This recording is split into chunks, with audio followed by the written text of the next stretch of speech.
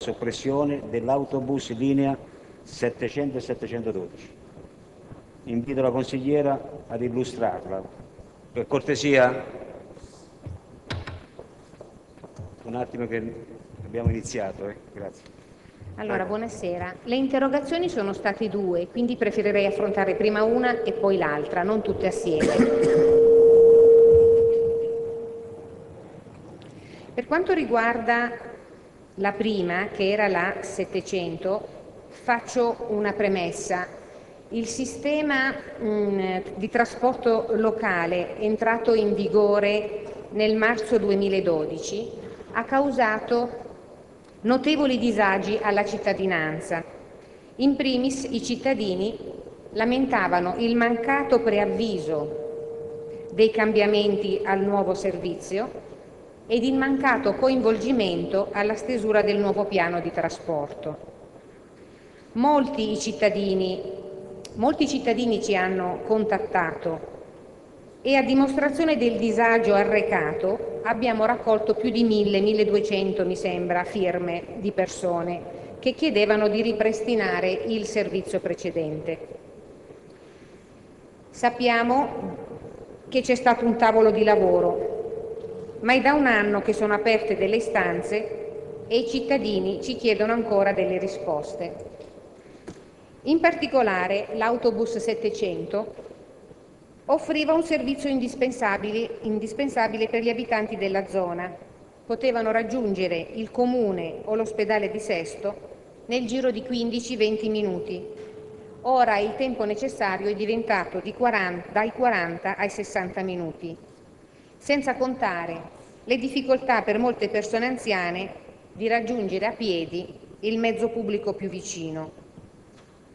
I disagi recati sono evidenti e quindi i cittadini chiedevano, e, e noi eh, per loro, di capire, di comprendere il motivo che ha portato a lasciare i cittadini nella zona di Viale Rimembranze e Fratelli di Dio senza il passaggio di un mezzo pubblico che colleghi velocemente al centro e sapere se era intendimento dell'amministrazione ripristinare il servizio della linea, con che tempi e modi. Grazie. Risponde l'assessore Marini. Prego, assessore.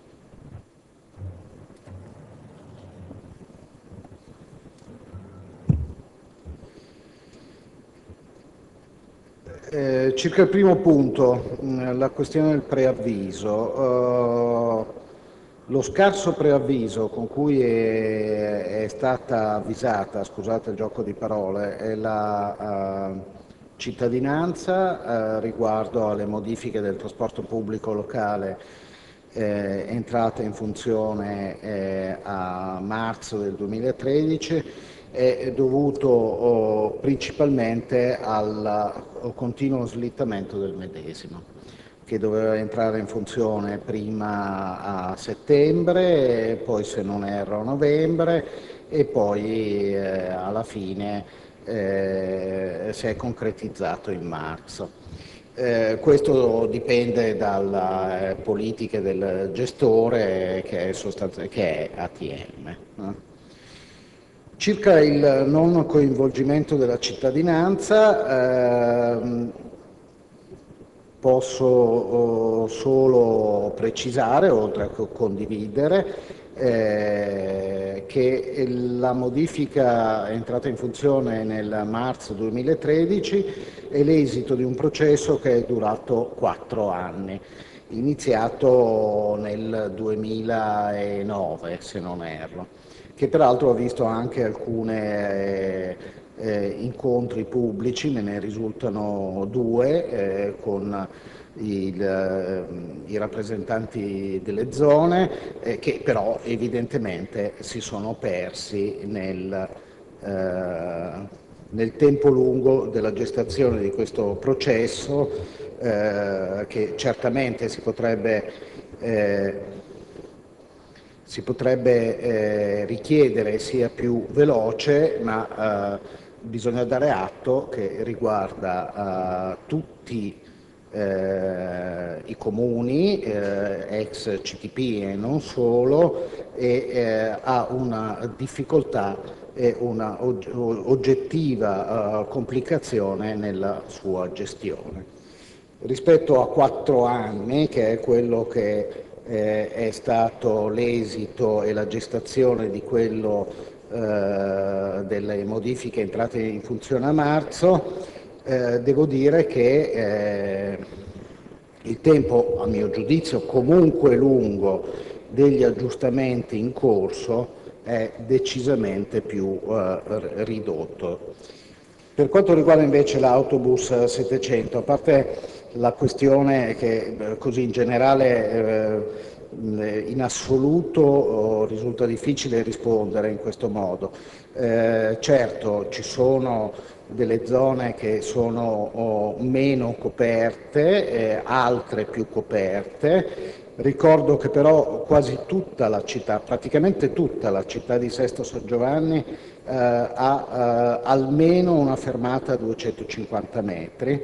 Eh, devo dire che eh, a posteriori le, difficoltà, certe volte anche notevoli, sulle quali abbiamo oh, con il tavolo di lavoro cercato di porre rimedio per quanto possibile, come preciso nella, uh, nella risposta all'interrogazione, eh, si registra un aumento abbastanza considerevole, forse ancora da incrementare, dell'utenza uh, nell'ora di punta da questo punto di vista, pari al 36% in sei mesi.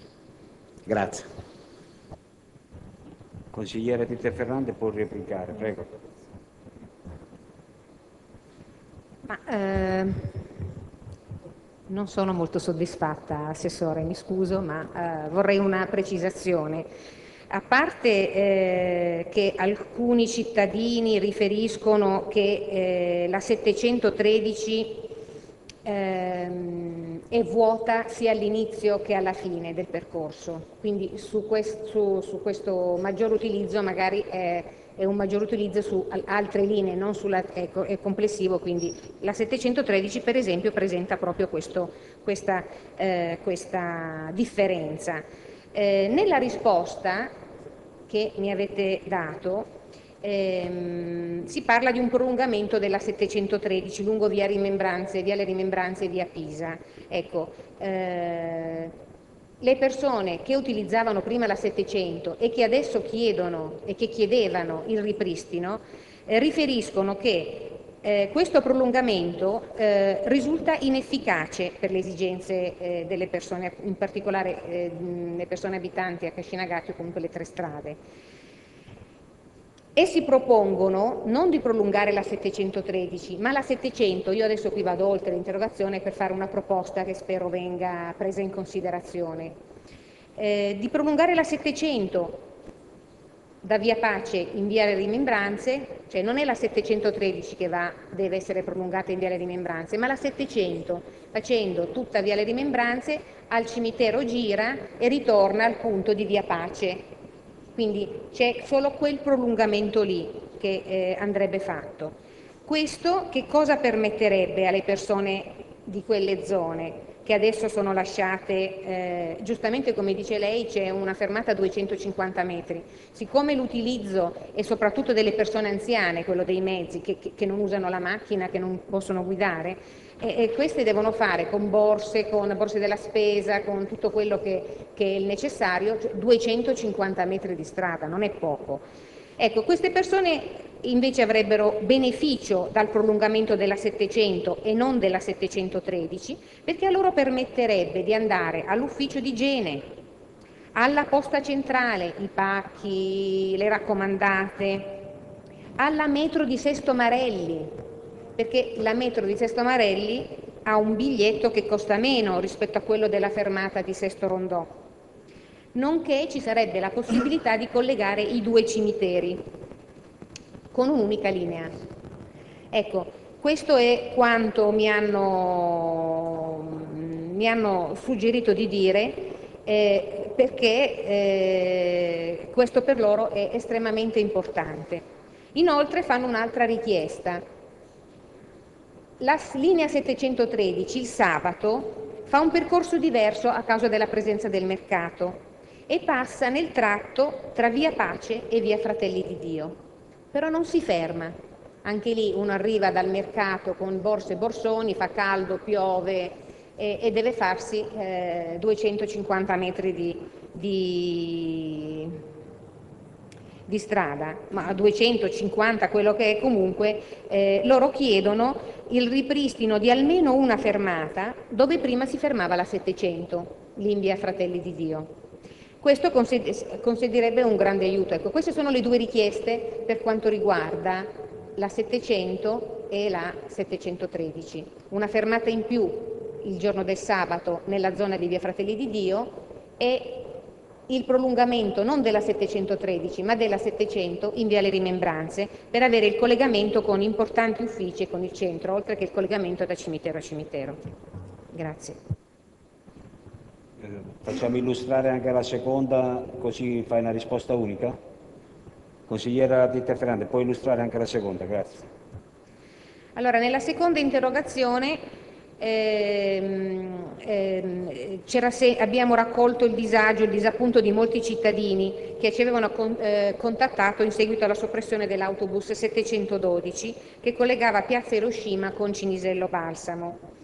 Anche loro lamentavano la mancanza di preavviso che comunque mi ha appena eh, spiegato e eh, lamentavano soprattutto che da General Cantore, angolo via Edison, per tutta la via Marzabotto fino al cimitero nuovo non, sarebbe, non passava più alcun mezzo pubblico e quindi rimanevano completamente isolati i cittadini di questa zona. Inoltre, per i lavoratori e gli studenti, la soppressione della, della linea 708 che collegava il cimitero al Parco Nord, anche questo causava grossi disagi perché era un servizio indispensabile per i ragazzi che frequentano la scuola e che adesso possono usufruire della 708 solo da Sesto Rondò dove, e, devono anche attraversare la strada in ora di punta, anche questi sono eh, problemi di sicurezza oltre che di disagio.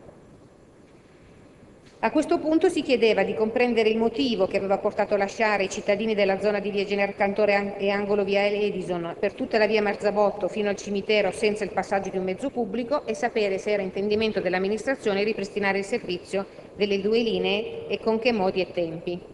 Grazie.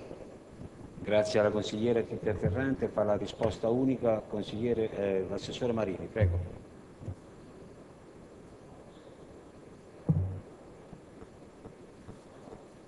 Può spegnere il... grazie.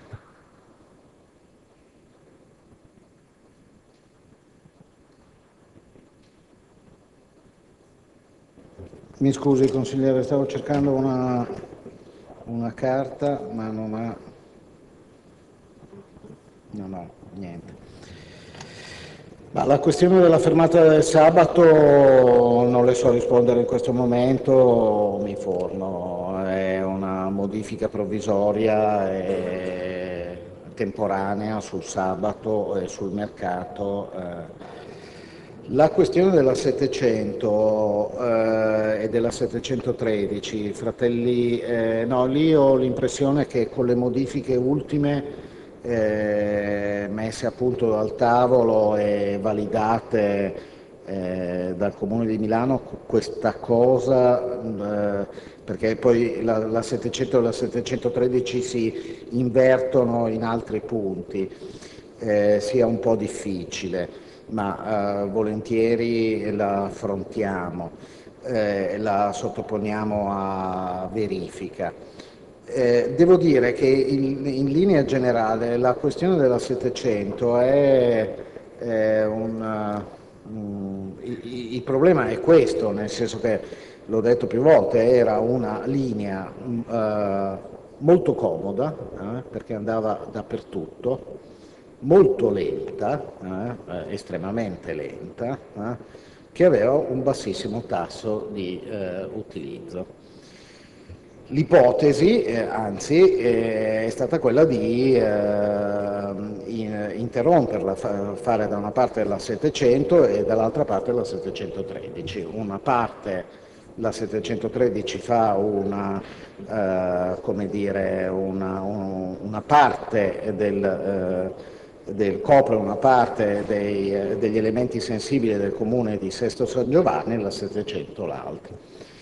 Eh, lo svantaggio è che in alcuni casi bisogna trasbordare da uno all'altro. Il vantaggio è che gli stessi punti sono oh, toccati eh, comunque dai mezzi pubblici che ci mettono molto meno. E questo vantaggio è quell'aumento che non è irrilevante. Eh? Allo stato attuale, peraltro a metà utilizzato e metà no, perché alcune fermate non ci sono, eccetera, eccetera, eh, alcune cose sono da aggiustare e verranno aggiustate, ma il passaggio da 3.000 a 4.000 abitanti eh, nell'ora di punta eh, non è poco, eh, non è oggettivamente poco. Eh, questo è un dato complessivo, eh, è un dato complessivo eh, poi eh, gli uffici stanno analizzando le singole eh, situazioni e, e, spero a breve potremo dare un quadro più di dettaglio eh, tenendo conto che eh, il dato complessivo è quello che poi eh, è più facile da comunicare perché il dato di dettaglio è, mh, come dire, ad esempio per la 713 non si può avere un un dettaglio, un, un delta, eh, perché prima non c'era. Laddove ad esempio mutano le, eh, le fermate eh, diventa complesso qualsiasi confronto. A livello aggregato invece no, si può dire che c'è un potenziamento e un relativa dire, eh, effetto positivo delle modifiche. L'altra questione è una questione, beh, sulla 708 eh, non, eh, sì, con qualche forse eh, difficoltà in più, eh, ma eh, quel servizio. Attenzione, scusate, questa modifica è stata fatta a costi zero da questo punto di vista, non ha aumentato. Anzi, eh, il Comune di Milano ha aumentato il servizio ma non eh, dire, la, la, valutazione da questo punto di vista, il suo costo. Eh, quello si è riuscito, si è riuscito in qualche modo a, eh, dopo i primi eh, giustificati eh, problemi e necessità, poi dopo è entrato abbastanza in funzione. Ma su, su, sul terzo tema invece è il punto sul quale eh, con una modifica della 700 dovremmo riuscire a, a, a servire alcuni numeri civici particolarmente eh, abitati. Devo dire che lì c'è stato un problema di, eh, eh, di dimensioni delle strade, eh, perché l'ipotesi messa a punto dal tavolo di lavoro era leggermente diversa, prevedeva l'uso sia della 713 che della 700 eh, ed era preferibile, ma eh, una questione di raggi di curvatura e di parcheggi hanno reso hanno, hanno bocciato, cioè il, il Ministero ha bocciato l'ipotesi. Grazie. Grazie all'assessore Marino. Se vuole replicare brevemente così iniziamo. Grazie. Sì, eh, io mi ero dimenticata di, di, dire una cosa, che adesso per andare al cimitero nuovo dalla zona Cascinagatti Tre Strade devono prendere la 713 più la 53 più la 700, quindi è, cioè, è, è, notevole il disagio, quindi mi auguro che questo prolungamento della 700 anziché della 713 sia realizzato perché sicuramente porta notevoli vantaggi. Eh, una cosa vorrei dire, ehm, visto eh, la quantità delle persone che ci aveva contattato per questo problema, eh, e mi riferisco alla, alla, alla raccolta delle firme, eh, mi, sarebbe, mi, sarei aspettato, almeno per correttezza istituzionale, di essere, e lo dico al sindaco e lo dico a lei, assessore, mi sarei aspettato un aggiornamento, non dico mensile, ma almeno periodico sull'andamento di questo tavolo del lavoro. Invece siamo rimasti all'oscuro di tutto e, e addirittura eh, riceviamo la risposta dopo oltre un anno. Questa è l'unica amarezza di tutta la faccenda. Grazie. Grazie alla consigliera Tita Ferranti. Sì, allora, le, le interrogazioni numero 4, 5 e 8 sono decadute per, per le due assenze del consigliere Di Stefano.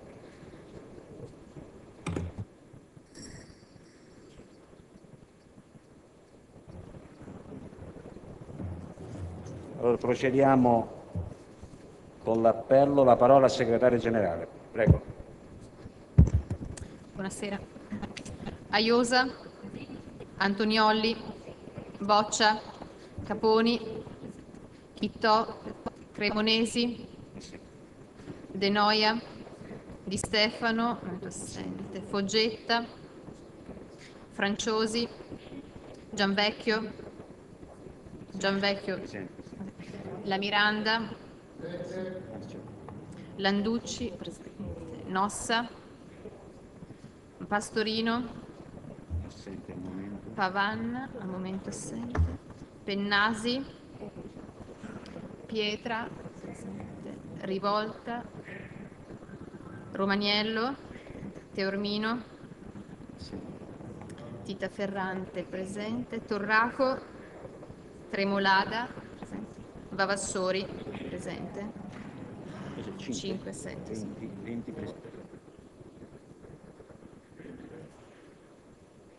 Consiglieri presenti 20, consiglieri assenti 5, la seduta è valida. Risultano assenti giustificati. Consiglieri Di Stefano, Cremonesi, Teormina, Pavan,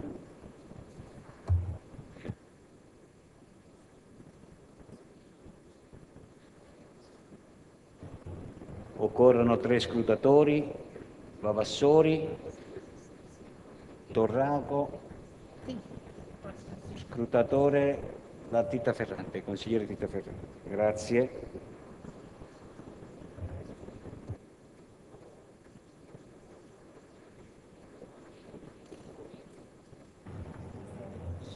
Invito tutti ad alzarsi in piedi per ascoltare l'inno nazionale. Grazie.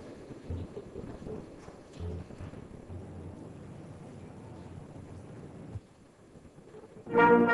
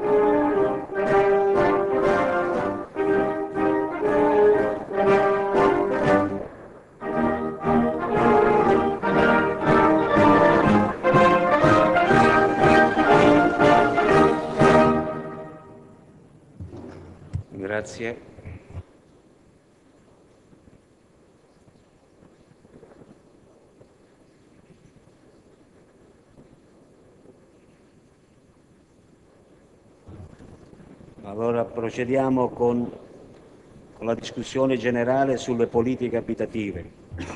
Su questo argomento l'assessore di competenza Felice Cagliani illustrerà le iniziative messe in campo dall'amministrazione comunale di Sesto San Giovanni per fronteggiare l'emergenza abitativa, sempre più drammatica a causa della fortissima crisi economica che ha investito il nostro Paese.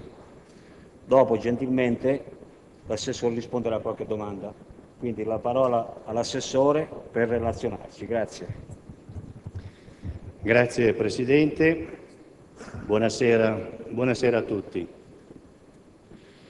Ma io vorrei iniziare innanzitutto la relazione questa sera, su cui poi mi aspetto più che domande magari da, dal dibattito di avere qualche suggerimento del Consiglio, ringraziando gli uffici che operano su questo tema, in particolare vabbè, eh, ringrazio e saluto il dirigente Zuccoli in quanto responsabile dell'ufficio, anche se ha avuto l'incarico da poco, ma soprattutto il ragionier Viesti che è quello che coordina il lavoro delle sue collaboratrici e la signora Testa che è un po' la memoria storica su questo tema della casa, visto che ha questa delega del sindaco da ormai una decina d'anni e che tra l'altro quest'anno lo esercita a titolo gratuito.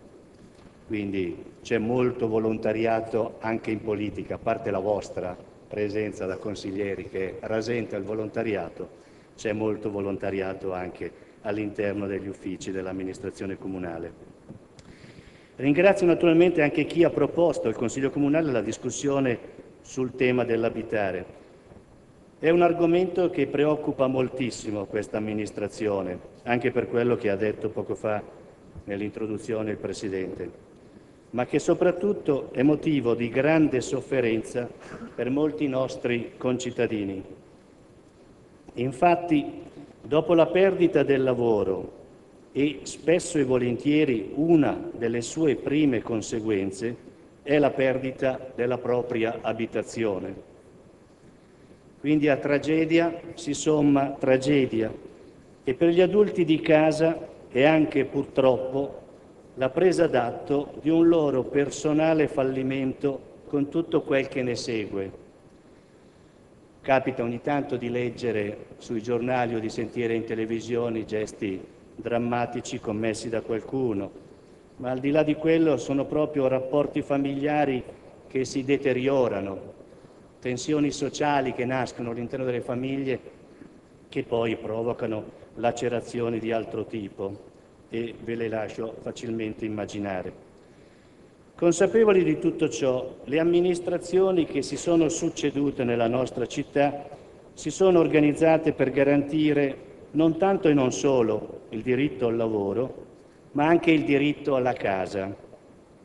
Infatti, nel comune di Sesto San Giovanni la disponibilità di case pubbliche è nella misura in cui avete potuto leggere dalla scheda sono circa, adesso correggerò qualche dato perché quelli sono dati molto indicativi, sono circa comunque 953 alloggi di proprietà comunale e 1500 di proprietà ALER. È un patrimonio pubblico che rispetto all'esistente nell'Interland di Milano è una delle città meglio dotate da questo punto di vista, dimenticando Rozzano, che è tutta una città con eh, immobili, case pubbliche sono 7.000 mi pare, e lasciando fuori Milano, che naturalmente ha numeri di altro genere, però la città di Sesto è una, la città più dotata di edilizia pubblica, ripeto, sia comunale che ALER.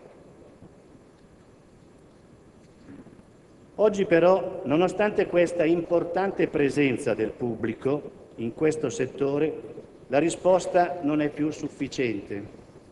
Infatti sono state appena pubblicate le graduatorie del diciottesimo bando ERP e la situazione è quella che avete trovato sulla scheda. Abbiamo 785 domande idonee per il canone sociale e 97 per il canone moderato. Con una composizione all'interno di questi nuclei familiari che prevede una presenza importante di minori e di anziani, oltre che di portatori di disabilità, che richiederebbero al, risposte alloggiative mirate e purtroppo, essendo le nostre abitazioni risalgono a qualche anno fa, non sono spesso e volentieri sufficientemente attrezzate per la bisogna. In questi ultimi due anni, e in particolare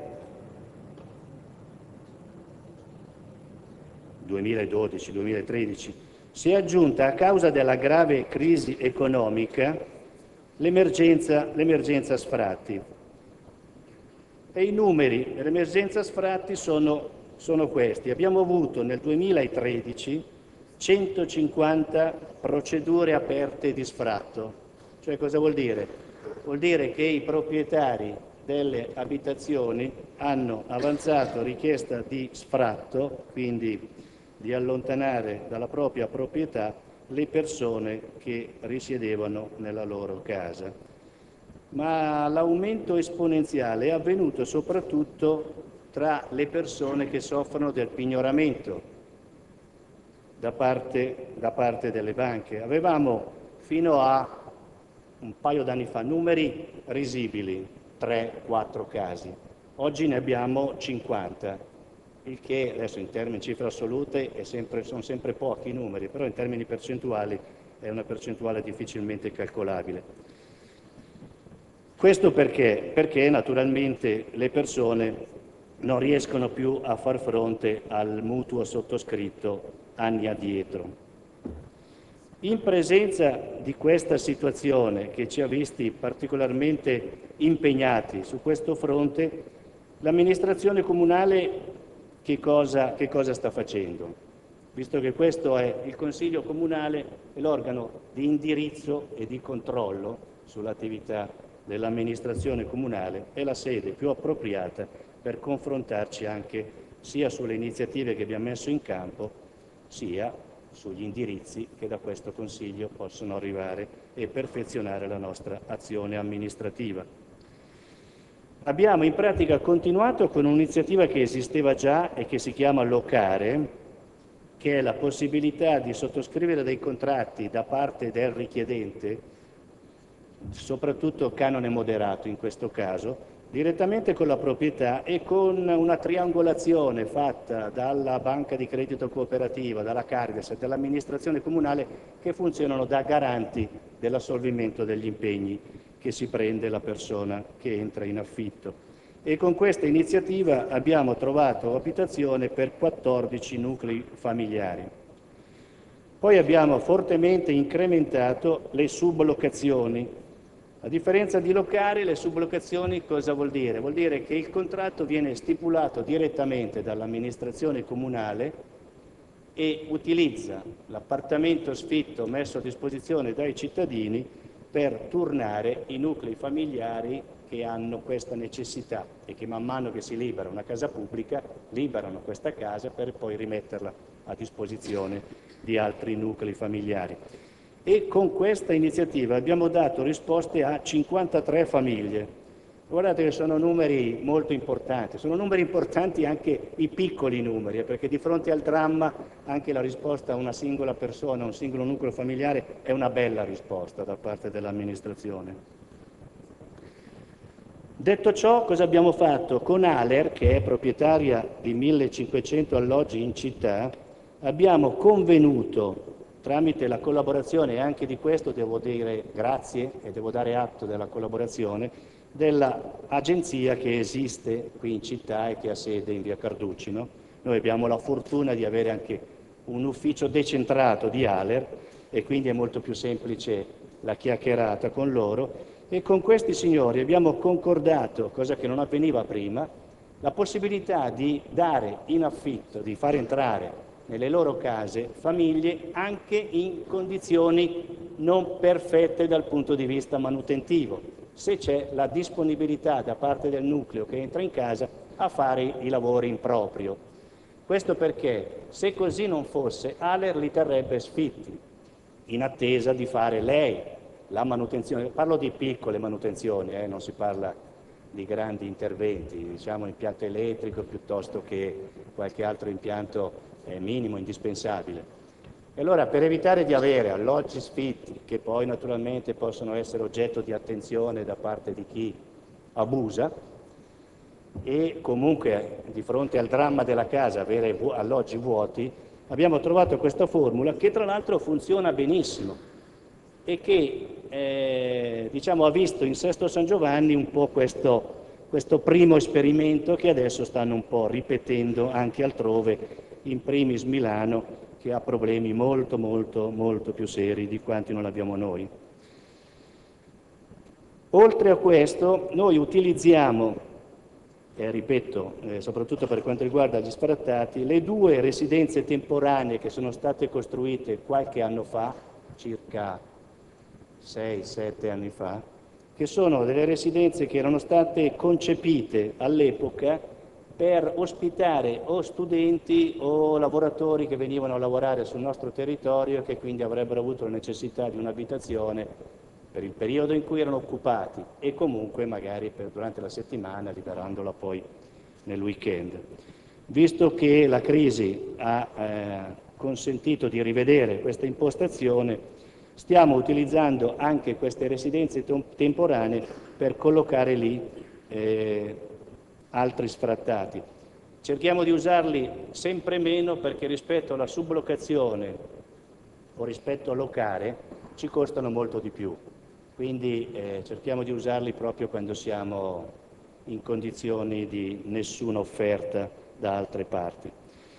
Qui in città poi esiste da tempo la Casa Albergo, voi sapete la Casa Albergo che è gestita dalla Fondazione San Carlo, che ospita persone in grandi difficoltà, che ci mette a disposizione diciamo tre o quattro possibilità di alloggiare. Lì è una formula un po' tipo residence, c'è la condivisione del momento pasto, c'è la condivisione di altri spazi, però è un edificio ben presidiato dalla Fondazione Cariplo che ci dà sufficienti garanzie di ospitalità dignitosa per le persone che lì vengono ricoverate. E eh, in genere in questi ambienti ricoveriamo donne, donne sole o donne con bambini, perché questa è l'impostazione che si è data alla Fondazione San Carlo. Poi vabbè, rimangono le, le, le, le soluzioni proprio estrema razio che sono l'albergo, laddove proprio eh, la condizione non abbiamo altre opportunità, e la comunità che però utilizziamo molto meno frequentemente perché comporta poi una serie di, eh, dire, di regole che vedono magari la suddivisione del nucleo familiare perché ospiterebbero solo la mamma con i bambini e quindi ci obbligherebbe a dividere le famiglie ed è una situazione che non usiamo quasi assolutamente più. Queste sono le iniziative messe in campo dall'amministrazione per rispondere all'emergenza sfratti. Naturalmente in città eh, abbiamo rimesso in piedi con questa nuova giunta, non esisteva prima, anche la Commissione Emergenze Abitative, dove tra l'altro eh, sono nominati di diritto anche la consigliera Iosa e il consigliere Torraco, ma è una commissione a cui partecipa l'Unione Inquilini, partecipa ALER, partecipano i servizi sociali, partecipa l'amministrazione comunale nella persona dell'assessore più i funzionari. Ho dimenticato qualcuno? No. Eh, partecipano tutti questi soggetti, quindi sono tutti soggetti interessati su questo tema e eh, che discutono di quei casi che non sono in elenco e che avrebbero la possibilità di entrare, di, di andare a scavalco di chi è in elenco per particolari condizioni eh, in deroga, insomma, tramite, cosa che è consentita dalla legge. Vengono valutati in quella commissione e si decide sì, no o perché, insomma. Questo è quanto è stato fatto dal punto di vista amministrativo. Però, siccome il tema della casa è un tema che vede noi come amministratori, ah chiedo scusa Presidente, eh, probabilmente non so qual è il mio tempo a disposizione, eh, forse sforo i 20 minuti, eh, non vorrei, eh? non è che mi si secca la gola, ma però mi richiami se per no, caso. No, vada, vada tranquillo. Allora, dicevo, noi ehm, gestiamo questo tema dal punto di vista amministrativo, ma la gestione di questo tema risponde a una legge regionale da quando con la modifica del titolo quinto sono state date competenze alla Regione ed è una legge, del, legge regionale numero 27 del 2009 che è quella che un po' regola l'assegnazione delle case. Allora, visto che a noi tocca fare gli amministratori e visto che il tema non può essere a carico della sola responsabilità amministrativa del comune, della comunità sestese in questo particolare momento, ci siamo guardati in giro e abbiamo detto, vabbè, ma su questo tema sarebbe opportuno che coinvolgiamo anche tutte le istituzioni che hanno determinate responsabilità o hanno determinati ruoli. E allora cosa abbiamo fatto? Abbiamo visitato il prefetto, non l'attuale, anche quello che c'era, che non era Lombardi, che quello che è rimasto un anno. Insomma. Nel 2012 siamo andati subito in prima istanza dal prefetto, che era una persona di cui non ricordo il nome, è rimasto un solo anno, chiedendogli al prefetto la possibilità di bloccare gli sfratti, rallentare gli sfratti, modificare questa urgenza di richiesta sfratti. Naturalmente questa, questo signore, siccome era lì in via del tutto temporanea, non è che ci ha dato molta soddisfazione, anzi le cose non sono assolutamente cambiate. Anzi, in quella sede lì addirittura eravamo presenti in quantità industriale, perché c'eravamo noi, c'era il Comune di Milano, c'erano tutti i sindacati, SICET, Sunia, Unione Inquilini e altri vari comitati per la Casa di Milano, ma in quell'occasione la risposta è stata completamente negativa. Abbiamo avvicinato anche l'attuale prefetto ben due volte in prefettura, reiterando questa nostra richiesta. reiterando questa nostra richiesta chiedendo almeno che ci fosse una graduazione degli sfratti. Oggi come oggi noi abbiamo la fortuna, e questo è il terzo grazie che dico stasera, di avere anche un ufficiale giudiziario che è particolarmente attento e sensibile su questo tema. Quindi noi quando c'è una richiesta sfratti arriviamo a volte al terzo, al quarto, al quinto rinvio da parte dell'ufficiale giudiziario, che è veramente una cosa che ci consente di gestire un po' meglio questa, questa emergenza. Quindi grazie anche a lei che opera, che opera con tutta questa sensibilità. Però l'abbiamo fatta questa richiesta al prefetto anche ultimamente, anche perché la legge numero 124 del 28 ottobre 2013 che all'articolo 7 ha come titolo Misure di sostegno all'accesso all'abitazione e al settore immobiliare, l'ultimo capoverso, meglio il penultimo, l'ultimo dice poco o niente, quando dice le risorse di cui al presente comma leggo sono assegnate prioritariamente alle regioni che abbiano emanato norme per la riduzione del disagio abitativo che prevedano percorsi di accompagnamento sociale per i soggetti sottoposti a sfratto anche attraverso organismi comunali. Punto. A tal fine le prefetture, uffici territoriali del governo adottano misure di graduazione programmata dell'intervento della forza pubblica nell'esecuzione dei provvedimenti di sfratto. Quindi, forti di quanto era scritto nella legge, abbiamo reiterato la nostra richiesta all'attuale prefetto. La risposta che ci è stata data è una risposta corretta, eh, non mi sognerei mai di dire altro, perché il prefetto dice, o meglio i suoi collaboratori, dicono ma noi fino a che non abbiamo i decreti attuativi che ci dicono come dobbiamo regolare questa graduazione degli sfratti, io non posso muovermi. È corretta eh, dal punto di vista formale, Certo che in presenza di una emergenza come quella che vi ho appena ricordato mi lascia un po', un po basito. Ehm, adesso vedo di andare un po' avanti veloce perché sennò... Allora, dopo aver incontrato il prefetto, cosa abbiamo fatto? Seconda cosa, visto che non si schiodava alcunché, abbiamo chiesto, insieme ad altri comuni, Abbiamo fatto come amministrazione di Sesto San Giovanni perché non, non sapevamo cos'altro inventarci.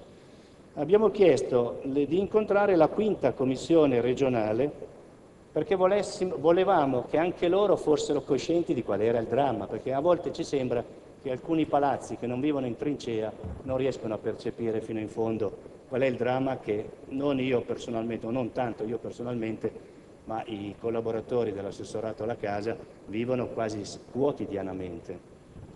E allora abbiamo chiesto l'audizione alla questa quinta commissione, abbiamo evidenziato in quella sede noi, Cinisello, Bollate, eh, Ro, Cernusco, Pioltello e non so quale altro comune, in genere ci muoviamo in sette comuni che poi sono i sette comuni che hanno il problema dei contratti di quartiere di cui poi di cui poi dirò qualcosa, e ci è stato promesso un tavolo, che non un tavolo, un tavolo di incontro. Per carità, io non lo rifiuto, anche perché un tavolo non lo si lega a nessuno, però non l'abbiamo ancora, non l'abbiamo ancora visto concretizzarsi questo tavolo, quindi ci promettiamo di, di fare nuovamente pressione al Presidente della Quinta Commissione. Fatto questo passaggio in Regione a livello istituzionale abbiamo avuto ripetuti e diversi incontri con Aler e non vi dico la fatica con Aler, adesso non vi sto qui a spiegare qual è la situazione di Aler perché avrete letto sui giornali le difficoltà che incontra questa agenzia regionale, sia a livello economico che a livello organizzativo. Però, siccome noi abbiamo due contratti di quartiere in essere, non ancora completati, dove l'amministrazione comunale ha fatto in pieno la sua parte. La Regione è disponibile a fare la sua parte, la parte inadempiente è Aler, perché ci deve mettere dei soldi, che oggi non ha assolutamente. E allora siamo andati in Aler con la vecchia direzione, ne abbiamo già viste tre di direzioni, questa è la terza. Abbiamo visto il primo, il secondo e la terza. Siamo andati in Aler per dire, vabbè, ma scusate, noi su questa cosa qui non possiamo tirare una riga e buttare tutto nel cestino. Prima perché ci sono dei cittadini con i quali noi abbiamo preso degli impegni e che si aspettano delle risposte, soprattutto da parte di Ale. Ma secondo perché io in quei contratti di quartiere, da una parte avrei dovuto avere a disposizione oggi, contratto di quartiere 2 Parpaglione, 106 alloggi, vi lascio immaginare quanto mi avrebbero fatto comodo, 46 a canone sociale e 60 a canone moderato, e dall'altra parte una trentina, 30-40. Guardo l'architetto Piazza, il quarto grazie, che ci sta accompagnando nella gestione di questi contratti. Nel senso che è logico eh, che tramite la Regione, che è disposta comunque a confermare l'importo della sua spesa, stiamo valutando l'opportunità di, piuttosto che niente, di gestire il piuttosto, in modo tale che ci possiamo portare a casa, se non tutto, se non tutto, buona parte di quello che era stato promesso, promesso all'epoca. Abbiamo promosso, siccome questa cosa qui eh, più siamo e meglio stiamo, come si dice, no? l'unione fa la forza, tanto per usare frasi fatte, ci siamo spesso e volentieri, quasi sempre, mossi in accordo con tutti gli altri comuni, a parte i sette comuni che hanno i contratti di quartiere ancora aperti, ma abbiamo fatto una riunione ancora illo tempore, eh, diciamo un anno e mezzo fa, con addirittura i 33 comuni dell'Inter di Milano, chiedendo a Milano stessa di farsi capo di questo, di questo coordinamento. Poi lì c'è stato anche lì un cambio di assessorato in corso d'anno, eccetera, si è perso un po' il filo del coordinamento e quindi siamo andati avanti con i comuni con i quali eravamo più frequentemente in contatto. Abbiamo inoltre, ripeto, proprio ragionando su che cosa fare per affrontare al meglio questo problema, abbiamo anche sollecitato e ottenuto un incontro il febbraio, 21 febbraio del 2014 2014 con i parlamentari eletti nella nostra circoscrizione. È vero, ho incontrato solo i parlamentari di centrosinistra, però mi avrebbe fatto piacere poter incontrare anche i parlamentari di centrodestra. Forse questo è un difetto, un difetto da, parte no, da parte mia.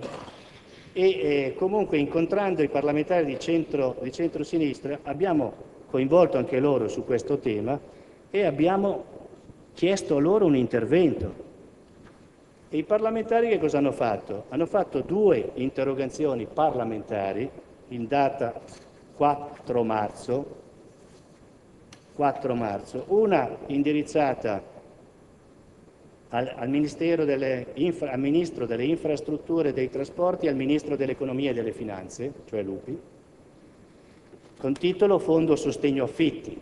Quindi c'era una sollecitazione da parte loro a rispondere su questo tema. Non ho ancora la risposta né per questa né per l'altra. E l'altra invece era indirizzata al Ministro dell'Interno che aveva come tema la graduazione degli sfratti, che è quello di cui vi ho parlato. Sollecitava il Ministro a fare questi benedetti decreti attuativi, in modo tale che le prefetture potessero eventualmente muoversi di conseguenza. Abbiamo incontrato l'assessore regionale alla casa, l'assessore Bulbarelli, abbiamo incontrato da soli insieme all'assessore Marini che ha la titolarità dei contratti di quartiere, eh, l'abbiamo incontrato sia da solo che ultimamente, ultimamente vuol dire 24 marzo, insieme agli altri comuni, dove lì abbiamo concordato con lei che è stato riconfermato l'impegno della Regione a trovare una quadra sui contratti di quartiere e adesso avremo degli incontri singoli, comune per comune, in modo tale che con la Regione, con i dirigenti della Regione, si concordino le modalità operative, operative su come intervenire in questi contratti di quartiere. Ultima cosa, ultima cosa che abbiamo messo in pista, abbiamo avuto un paio di incontri con ANCI. ANCI è l'Associazione Nazionale Comuni d'Italia, l'ultimo incontro è avvenuto il 3, il 3 marzo, un mesetto fa circa, e anche ANCI ha detto che avrebbe riportato il problema ad ANCI nazionale, mi ha detto, mi ha promesso che sarebbero venuti in zona sul territorio a fare addirittura un video, tu non c'eri Edo, a fare un video sul territorio con la presenza dei funzionari, assessori, in modo tale da documentare anche visivamente qual è la situazione dei nostri contratti di quartiere per fare pressione a chi, a chi di dovere. Detto ciò, per governare l'emergenza, le ultime due iniziative che abbiamo messo in campo sono quelle che avete trovato anche sul portale. Sul portale voi avete visto il comune cerca casa. Se non avete avuto occasione di vederlo, vi invito ad andarlo a vedere. Cioè, in pratica, in, quella, in quel portale, in quell'avviso, si dice alla città, hai degli alloggi sfitti? Arredati sì o arredati no, che non riesci ad affittare per vari motivi o di cui non hai esigenza immediata, se ce li proponi, se li proponi all'amministrazione comunale con il metodo della sublocazione, noi facciamo un contratto con chi ha questa necessità e garantiamo noi il pagamento dell'affitto, fatto salvo poi recuperare una parte da quegli inquilini che possono, che possono eventualmente retrocedere. Guardate, questa cosa qui, adesso spendo una parola, ma veramente una, questa cosa qui, noi a volte in città organizziamo iniziative benefiche, ne abbiamo fatta una recentemente, una serata per Pro Lilt, in cui siamo stati tutti invitati a condividere una cena, in modo tale che l'importo poi venisse messo a disposizione a queste associazioni di volontariato. Questa rientra in queste iniziative, eh? Non consideratelo solo una cosa, un puro affare economico. In pratica noi diciamo alla città, te la senti di farti carico insieme all'amministrazione di trovare delle risposte a chi è in un particolare momento di bisogno? Se te la senti non ti chiedo soldi, hai una casa vuota, facciamo un contratto, è una casa vuota che non ti serve per un po' di tempo, facciamo un contratto, la metti a disposizione, guardate che non è solo un atto di generosità, è anche un atto e soprattutto, ma di sicuro anche un atto di generosità, però è anche un gesto che torna comodo alla città. E torna comodo a te stesso che dai la casa. Cioè nel momento in cui abbiamo una città che si fa carico dei problemi della città, noi avremo di sicuro una città con minori persone magari che dormono in macchina, che dormono in giro nei giardini, magari anche una città pulita per affrontare altri temi. Se ogni cittadino vivesse la città come casa propria. Quindi chi mi offre una casa non fa sempre un semplice gesto di generosità, ma ne avrà anche un beneficio dal punto di vista dell'ordine cittadino, perché avremo meno disagi in città. Spesso e volentieri arrivano delle mail eh, qui c'è il tizio che dorme nel camper, qui così, o dorme nei giardinetti. Vabbè, capito, le risposte noi le stiamo costruendo e, e compete soprattutto a noi. La responsabilità prima è nostra, ma la, questa responsabilità va condivisa con la città. L'altro giorno eh, sono andato a, a nome del sindaco a una messa che ricordava la morte dell'agente Antonino Crisafulli, no? Ecco, ve la cito a mo' di esempio, ma tanto per dire qual è il, le modalità con cui stare in una comunità, con cui vivere in comunità. Voi ricordate benissimo che l'ispettore Crisafulli eh, era, stava andando in ferie, era successo un, un incidente in autostrada e non si è chiesto non tocca a me, cioè ha visto che c'era un problema e stava andando in ferie, non era in servizio e ha fatto quello che si è sentito in obbligo di fare. Poi purtroppo ha pagato con la vita questo suo gesto, purtroppo. Allora, spesso e volentieri noi ci fermiamo al senso del dovere, cioè nel momento in cui uno mette una divisa o mette la giacca e la cravatta, so che io devo fare questo sul lavoro, devo fare questo, e poi basta. Ma c'è un senso di responsabilità più grande che ci occupa H24, che non finisce, che non finisce in un certo momento. Quindi anche questa iniziativa rientra in questo senso di responsabilità a vivere in una comunità che è la nostra comunità. Chiuso il pistolotto. Eh, vado oltre. Eh, beh, naturalmente l'altra iniziativa che abbiamo cavalcato alla grande, alla grande in, questo, eh, in questo ultimo periodo è quella ehm, quella delibera di giunta regionale che è stata fatta il 5 dicembre, che scadeva a fine dicembre. Abbiamo approvato una delibera di giunta senza avere il testo della delibera, mi pare di ricordare, chiedo ai colleghi, proprio perché dicevamo ma cos'è, fanno apposta, fanno il 5 dicembre una delibera che scade a fine dicembre sapendo che a dicembre si lavora fino al 15 e poi non c'è più nessuno, ci vogliono, cioè, eh, vogliono dire che l'abbiamo fatta e nessuno ha aderito. Noi abbiamo corso come dei dannati, e l'abbiamo fatta. Poi so che hanno tenuto le porte aperte e quindi anche chi è arrivato dopo dicembre ha, ha avuto la possibilità di accedere a questo fondo. Comunque questo è, ricalca un po' l'intervento che noi facciamo in sublocazione, cioè in pratica la, la, la giunta regionale da, da, mette dei soldi, dei soldi, naturalmente la delibera recita, se la trova, eh, Iniziativa di Regione Lombardia, Fondo Sostegno ai cittadini per il mantenimento dell'abitazione in locazione. Quindi stanzia dei soldi, 130.000 quest'anno, 130.000 l'anno prossimo, a disposizione delle amministrazioni comunali per le iniziative in pratica come la sublocazione, o meglio, addirittura in questo caso qui però stiamo cercando di definire con la dirigenza se abbiamo capito bene o abbiamo capito male, se addirittura possiamo utilizzarli per dire quella signora lì che è sfrattata, fai una cosa, io posso con questi soldi pagare l'eventuale arretrato, diciamo parliamo della morosità incolpevole, no? l'eventuale arretrato di questa persona, se non sono cifre esagerate, in modo tale che la persona addirittura non esca da quell'abitazione, possa rimanere per un determinato periodo, certo, e poi vedremo, vedremo altre soluzioni. l'ultima cosa che vi voglio dire, ma sono anche le cose più importanti, eh, noi stiamo cercando, e vengo all'ultimo punto, stiamo cercando, come anticipavo poc'anzi, di chiudere con Aler almeno una partita, un contratto di quartiere che ci vede, eh, ci vede particolarmente impegnati proprio perché è la famosa ex casa di plastica. La conoscete tutti? La ex casa di plastica in via Catania era una casa costruita da un ingegnere svizzero, eccetera, che aveva, aveva costruito, con, era svizzero? giapponese, eh, vabbè, non italiano, uno, un, eh, un, non italiano che aveva costruito questa casa fatta con le resine, che era naturalmente freddissima d'inverno e caldissima d'estate. Era un esperimento a cui ogni tanto gli architetti si dilettano. Eh, come?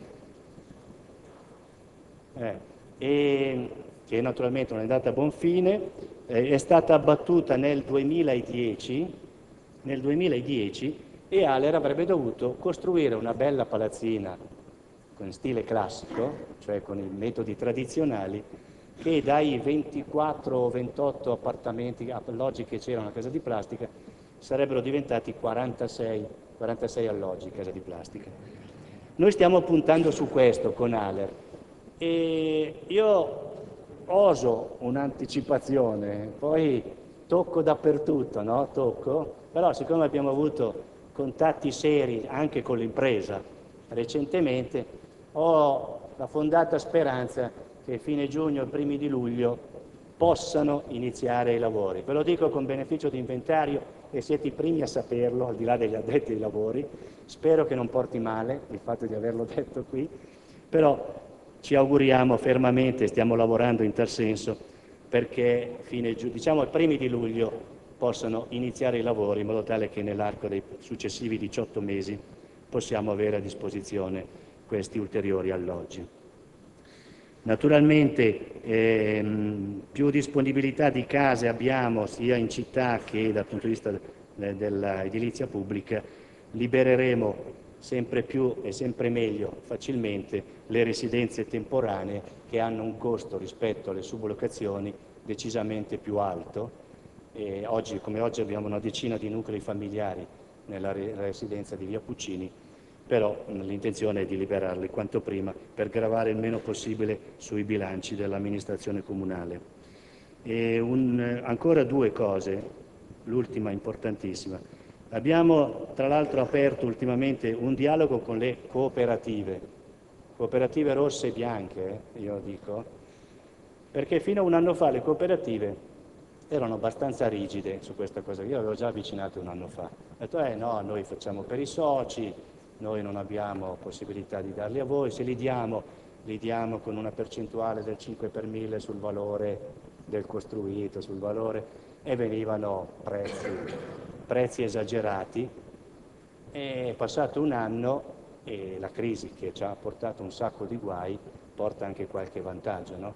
ha portato le stesse cooperative a più miti consigli, nel senso che utilizzando i cosiddetti SAC, che sono sempre un'iniziativa a livello regionale e che stanno per servizi abitativi a canone convenzionato, danno una loro disponibilità a mettere in affitto un certo numero di alloggi delle case che stanno costruendo, soprattutto lì alla Bergamella dove lavorano entrambe le cooperative, c'è sia la cooperativa Uniabita che la cooperativa edilizia Cascina Gatti Solidarnosc e, e poi speriamo che si apra anche a qualche altra cooperativa che è sul territorio che fa fatica, che fa fatica a vendere. Certo, eh, facciamo anche un favore alle cooperative, però è reciproco, d'altronde l'accordo lo si fa se entrambe le parti ne hanno un tornaconto. No?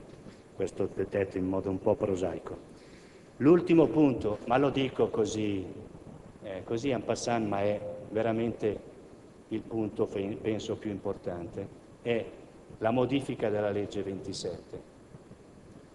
Noi l'abbiamo già detto in più, in più, sedi, l'abbiamo detto alla Regione, l'abbiamo detto ai, ai, consiglieri regionali, l'abbiamo detto ai parlamentari, anche se non c'entrano poco o niente, perché è una legge regionale, c'è una proposta di modifica da parte di alcuni gruppi parlamentari, so che ci stanno lavorando diversi gruppi parlamentari, ma quella legge 27 che risale al 2009 va modificata. Va modificata, ma lo stesso PRERP che è stato approvato in giunta regionale un mese fa, eccetera, ragiona anche in termini diversi, cioè parla ad esempio della suddivisione degli appartamenti, visto che in prospettiva i nuclei familiari tendenzialmente tendono a ridursi numericamente, a parte la, la componente extracomunitaria che ha ancora numeri importanti, però sono molti di più eh, le donne singole o i separati o gli anziani che sono soli in appartamenti anche sufficientemente grandi. Guardate che questa è un'iniziativa che noi abbiamo già tentato qualche anno fa e avevamo avuto anche qualche risultato, perché avevamo ricavato, mi pare, un 15 appartamenti, cioè avevamo fatto a Cascinagatti, al, quartiere, contratto di quartiere 1, avevamo fatto la separazione, non so, adesso vi dico dei numeri a capocchio, 100 metri quadri dove magari c'era dentro un anziano solo perché era vedovo, ho detto guarda, dividiamo, facciamo due appartamenti, tu risparmi nelle spese e io ho un altro appartamento in più. E l'abbiamo fatto, quindicina, solo che poi Aler non ci ha accompagnato in questo percorso, ha avuto dei ritardi notevoli Aler, e la cosa che invece stava prendendo piede è in pratica morta, morta sul nascere. Adesso viene riproposto nel, per, nel PREP della Regione, come del resto viene sollecitata una diversa mobilità delle case pubbliche, come del resto viene sollecitata una diversa sostenibilità della casa pubblica, per non trovarsi con la situazione ALER che non sa da che parte recuperare questi soldi. Quindi eh, è di sicuro l'atto fondamentale, perché poi è l'atto che governa, che governa le assegnazioni e quindi vanno riviste, vanno riviste alla luce della nuova situazione, della situazione che purtroppo la crisi ha determinato. E siccome questa crisi non ci abbandonerà, cioè o meglio, miglioreremo di sicuro sempre, perché voglio essere ottimista. Poi torno a ripetere, sul nostro territorio Expo, piuttosto che oggi c'è la fiera del mobile che pare che abbia generato comunque interessi sul territorio, piuttosto che la città della salute. Sul nostro territorio i numeri non sono quelli che ci vengono raccontati sul, al telegiornale, sono numeri decisamente molto più bassi dal punto di vista del, della disoccupazione, però sono numeri comunque, comunque, che toccano molte nostre famiglie e molti nostri, molti nostri conoscenti. E allora è logico che il tema della casa pubblica, che io ritengo che debba esserci, debba permanere, ma deve permanere con una mobilità maggiore. Cioè io sono convinto che la casa pubblica deve rispondere a particolare bisogno momentaneo di quei nuclei familiari che si trovano in una condizione sfavorevole, perde il lavoro, una malattia, una separazione. Deve rispondere a questi casi. E allora la turnazione nelle case popolari deve prevedere dei livelli di reddito ISE che siano veramente, che incontrino la domanda, il bisogno. Perché se i livelli ISE sono troppo elevati per quanto riguarda la permanenza, dico la permanenza, è logico che non si liberano più quelle case lì. E io ho mille case bloccate vita natural durante. Sappiate che la, la, la turnazione qui a Sesto San Giovanni, sulle case pubbliche, case comunali dico, sono non più di una cinquantina. Considerate che una cinquantina nell'arco dell'anno, una ventina, 20-25 sono magari dei subentri, cioè è gente che ha maturato comunque il diritto, figli, nipoti o chissà chi altro, ha maturato il diritto sulla base della legge regionale di rimanere in quella casa perché ha redditi tali e, e ha titolo per, e quindi io ne ho 25 per gli sfrattati. Voi capite che la fatica è grande, la fatica, è la fatica soprattutto, torno a ripetere, di, di, chi, di, chi, è in prima linea molto più di me e molto meglio di me. Mm, non so se vi ho raccontato tutto, avevo scritto alcune cose, poi sono andato a braccio, spero di non aver dimenticato nulla, comunque sono qui. Ecco, mi dicono che i prefetti nell'ultimo, giusto per correttezza, nell'ultimo periodo, beh, salto il prefetto Ferranti perché non l'ho mai incrociato, eh, forse Lombardi neppure come prefetto, ma l'ho incrociato come presidente Aler, e ecco, il prefetto Andreana, che era il prefetto che c'era prima, e l'attuale che è il prefetto Tronca. Grazie, grazie e adesso mi aspetto un bel dibattito. Eh, non facciamo il giochino dell'opposizione, della maggioranza. Mi piacerebbe che fosse un bel dibattito in cui ognuno potesse fare una proposta. Non mi interessano le lodi perché non sono miei, ma sarebbero dei collaboratori. Vabbè, se mi arriva qualche, qualche critica me la prendo. Ok? Grazie. Grazie all'assessore Cagliani per averci relazionato in modo molto dettagliato. Prima di aprire il dibattito, se vogliamo fare qualche domanda all'assessore, prego, consigliere Franciosi. Grazie Presidente, una domanda molto veloce. Prima lei ha citato l'incontro che avete avuto in Regione in Commissione 5.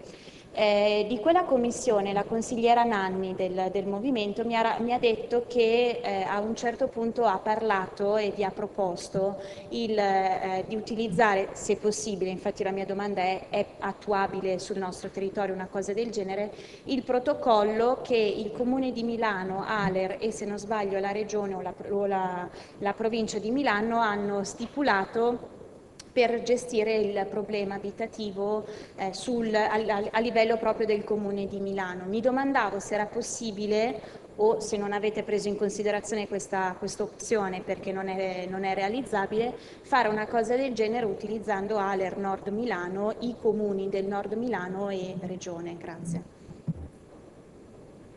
Prego. Prego l'assessore. Mi dispiace se tolgo la giacca, eh? No, eh, non l'abbiamo utilizzata, ma sa perché? perché Aler e Milano è un pasticcio immenso, cioè nel senso dialogano poco, dia- cioè nel senso Milano non ha, o meglio, è proprietario di molte case pubbliche, ma le ha date tutte in gestione Aler. E a Milano è quella situazione che potete aver letto sui giornali, che non è una situazione idilliaca. Non l'abbiamo presa in considerazione perché saremmo finiti in un pentolone che ci avrebbe rovinato la bontà delle nostre iniziative, no? E quindi, visto che abbiamo questo rapporto preferenziale e tra l'altro che funziona con la sede staccata qui di Aler di Sesto, abbiamo detto continuiamo a lavorare sul nostro territorio in questo senso, perché così, così noi, noi, riusciamo a, a rispondere. Grazie. Grazie, ha chiesto la parola a Romaniello per fare una domanda, prego. Sì, grazie Presidente. Sì, Volevo chiedere un po' di domande e poi fare una risposta unica, prego. Sì. Volevo chiedere rispetto all'iniziativa di andare a cercare dai privati gli alloggi poi da dare in, in subaffitto, eh, come modalità ritiene si pensa che sia più conveniente rispetto a, al fatto di avere in dotazione delle case eh, comunali e ehm, se in questo momento la risposta dei cittadini sestesi eh, com'è ad oggi, insomma, come, come ritorno di questa iniziativa. Grazie, vediamo se ci sono altre domande.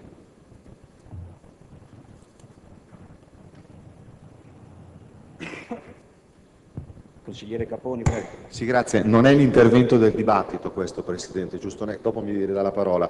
No, sulla um, esaustiva um, dichiarazione del, um, del, del, del Vice Sindaco, le volevo chiedere come mai il progetto locale è rimasto, mi risulta, fermo un po' di tempo? Perché eh, non, ha, non, ha, prodotto i frutti per un certo periodo. E poi le chiedevo, lei parlava prima della um, Commissione Emergenza Case, quanti casi ha trattato e se ci illustra cioè, il, dove interviene, in che modalità e quali, um, quali casi prende, prende in esame? Aspettiamo ancora un attimo se c'è qualche altra domanda.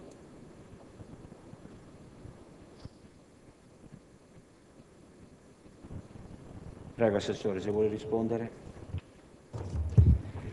Allora, il, il tema della ricerca case. Beh, il tema della ricerca case l'abbiamo fatto perché? Perché ci dà la possibilità di avere a disposizione in modo più immediato, spero di rispondere a tono, in modo più immediato una disponibilità che altrimenti non avremmo. No? Noi andiamo a cercare case sul privato perché io ho le case pubbliche che sono sature, sono tutte occupate, sia le mie che quelle di Ale. Sì, Aller forse abbiamo una decina di sfitti che hanno bisogno di interventi manutentivi più seri di quelli che abbiamo previsto, però sono numeri non molto significativi. E la risposta ad oggi, eh, noi abbiamo fatto un primo step adesso a fine marzo, quindi l'altro ieri, e la risposta che ci è arrivata finora sono una quindicina di offerte di case su tutta la città. Eh, non spaventatevi, è un numero interessante, eh? è un numero importante, non è poca cosa.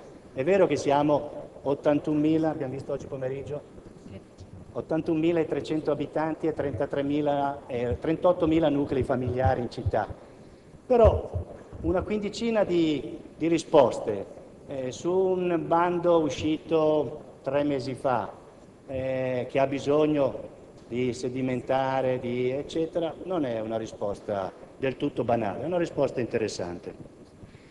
L'iniziativa di locale, l'iniziativa di locale dunque non è che l'abbiamo abbandonata, è che siccome questa cosa qui è fatta con eh, la triplice che si ritrova a, a, garantire, a, garantire, la prestazione del servizio, abbiamo purtroppo un, un componente che ultimamente faceva fatica a rinnovarci la convenzione, che è poi la banca, la banca di credito cooperativo.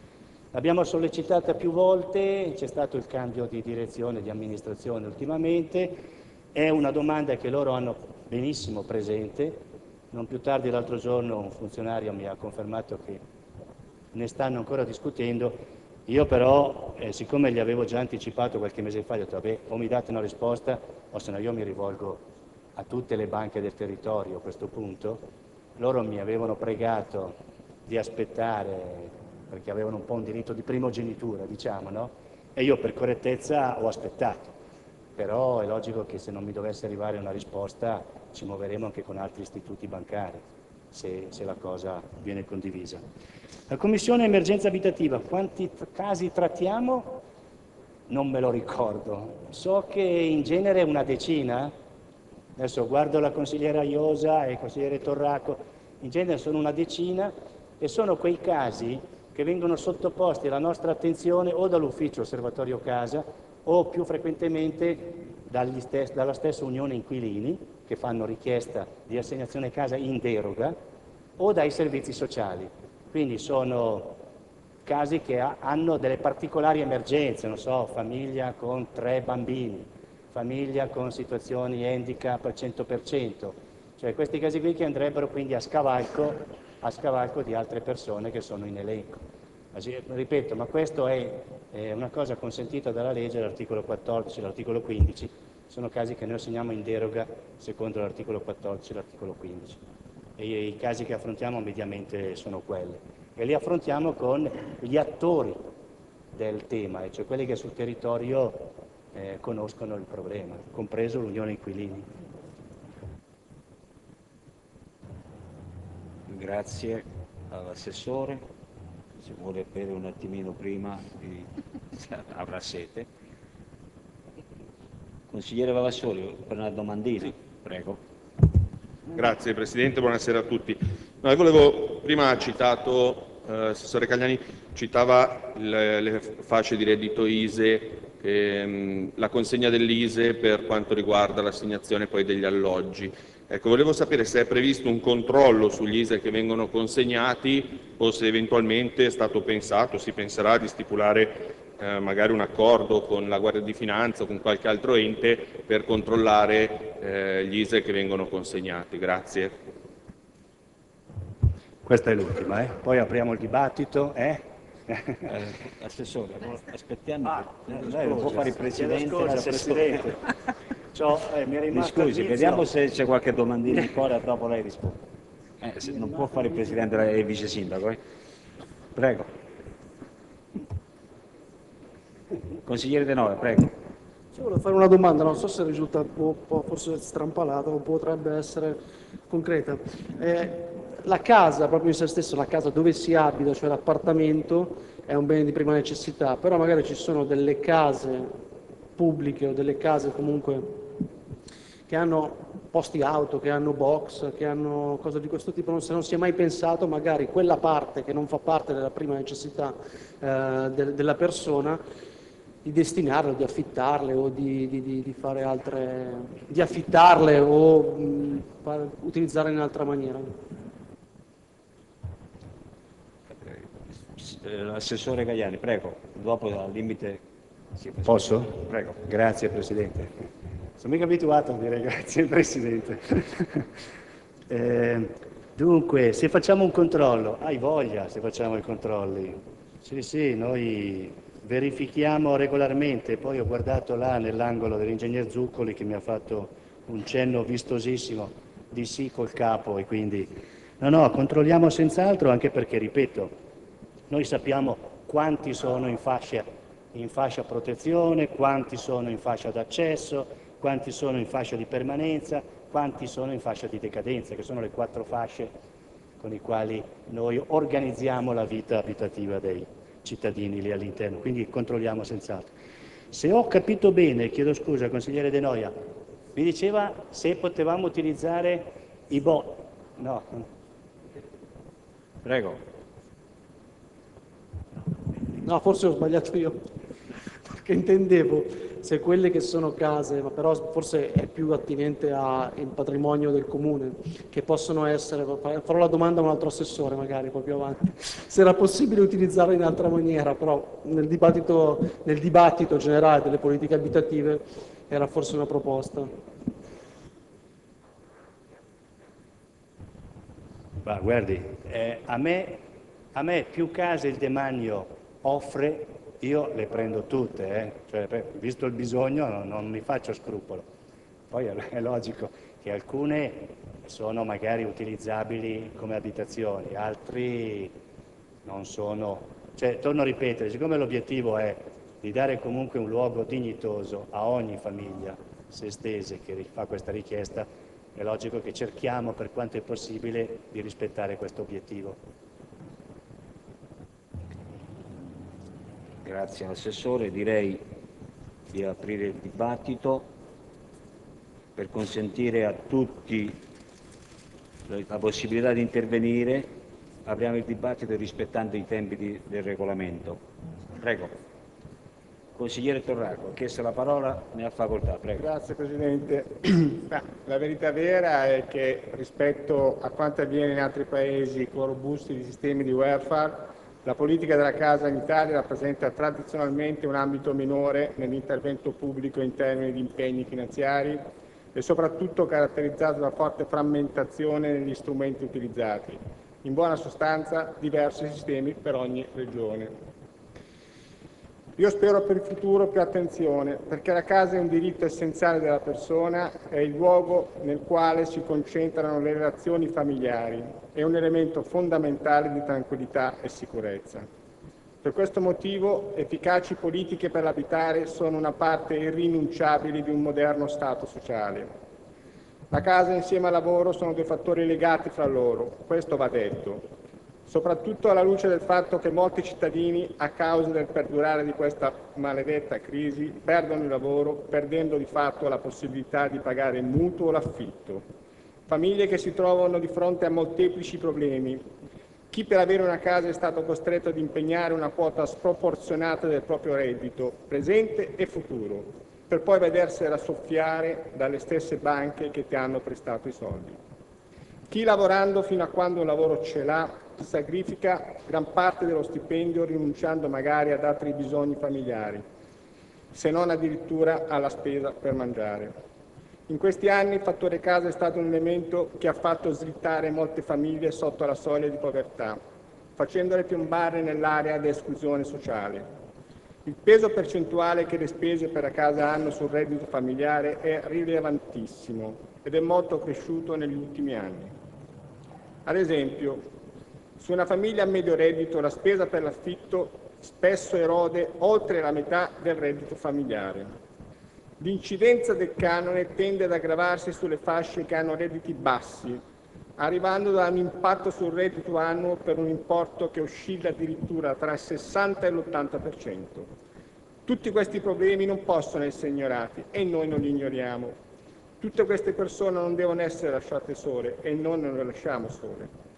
Noi in questi anni, come appunto diceva adesso l'assessore, ce ne siamo occupati, abbiamo fatto tanto, siamo riusciti a governare il problema tramite diverse iniziative, l'ha detto poc'anzi l'assessore, accordi con le famiglie affidando alloggi che richiedevano alcuni piccoli interventi per la messa a norma e che altrimenti resterebbero vuoti, e inoccupati in attesa di ristrutturazione da parte dell'ALDE. Questo ha permesso di ricollocare diverse famiglie, una quarantina circa, diceva l'assessore. Siamo entrati in rete, in rete con l'associazione Parrocchie, via d'iniziativa locale. Speriamo che adesso si concretizza con, di nuovo con la banca di credito cooperativo una nuova convenzione in modo da riproporla, perché questo ha dato dei grossi benefici. L'amministrazione ha messo in campo altri provvedimenti, ha detto prima, portale, residenza temporanea casa albergo, solo albergo, insomma ha fatto e sta facendo diverse eh, iniziative. E poi anche iniziative politiche, ha detto poc'anzi, l'amministrazione ha incontrato il profeta nel 2012, nel 2013, ben tre volte, chiedendo una graduazione degli sfratti senza esito positivo, chiedendo l'intervento della quinta commissione e tante altre cose che non sto qui a rimenzionare perché appunto l'ho appena detto l'assessore. Insomma, stiamo facendo tanto e intendiamo continuare a farlo e per questo ringrazio prima di tutto la Vittoria Testa che per anni ha dato una mano quasi governando questo, questa tematica. Lei è sempre presente, a volte quando salgo in commissione io alla IOSA mi sento quasi di andare in una missione, perché più che eh, parlare di episodi positivi si va lì e si ha lo sconforto di gente che giustamente ha bisogno e la vittoria a testa è sempre lì presente a dare una risposta a chiunque. Volevo anche ringraziare il, il responsabile dell'osservatorio, Viesti, e anche, perché no, giustamente, anche la commissaria Iosa, anche lei insieme all'assessore cerca di dare il proprio contributo aiutando, aiutando per questa causa. Concludo dicendo che in una fase di crisi economica e di recessione come l'attuale bisogna mettere in campo politiche per la casa di garantire una risposta rapida sia alla forte domanda sociale necessita porre attenzione anche ad una crescita fascia di ceto medio, sempre più in difficoltà, che non ha i requisiti per la classica casa popolare e che si confronta con prezzi di mercato ampiamente al di fuori delle proprie possibilità. Tra l'altro trovare un'abitazione dignitosa a prezzo accessibile è per molti cittadini una sfida quasi impossibile. Ovviamente necessita risposte che devono essere sostenibili sia dal punto di vista economico che sociale risposte che, con, che consentano ai giovani di emanciparsi e seguire i propri percorsi di studio professionali e sentimentali. E perché no, rilanciare il settore edilizio al fine di far partire un importante volano di sviluppo economico per vincere la scommessa e pertanto la sfida dell'abitare e dello stesso tempo anche del lavoro.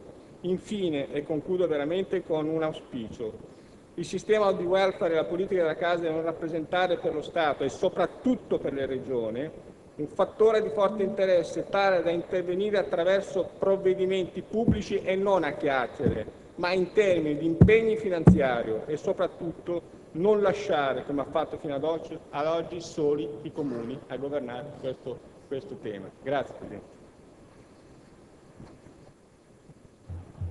Grazie consigliere Torraco.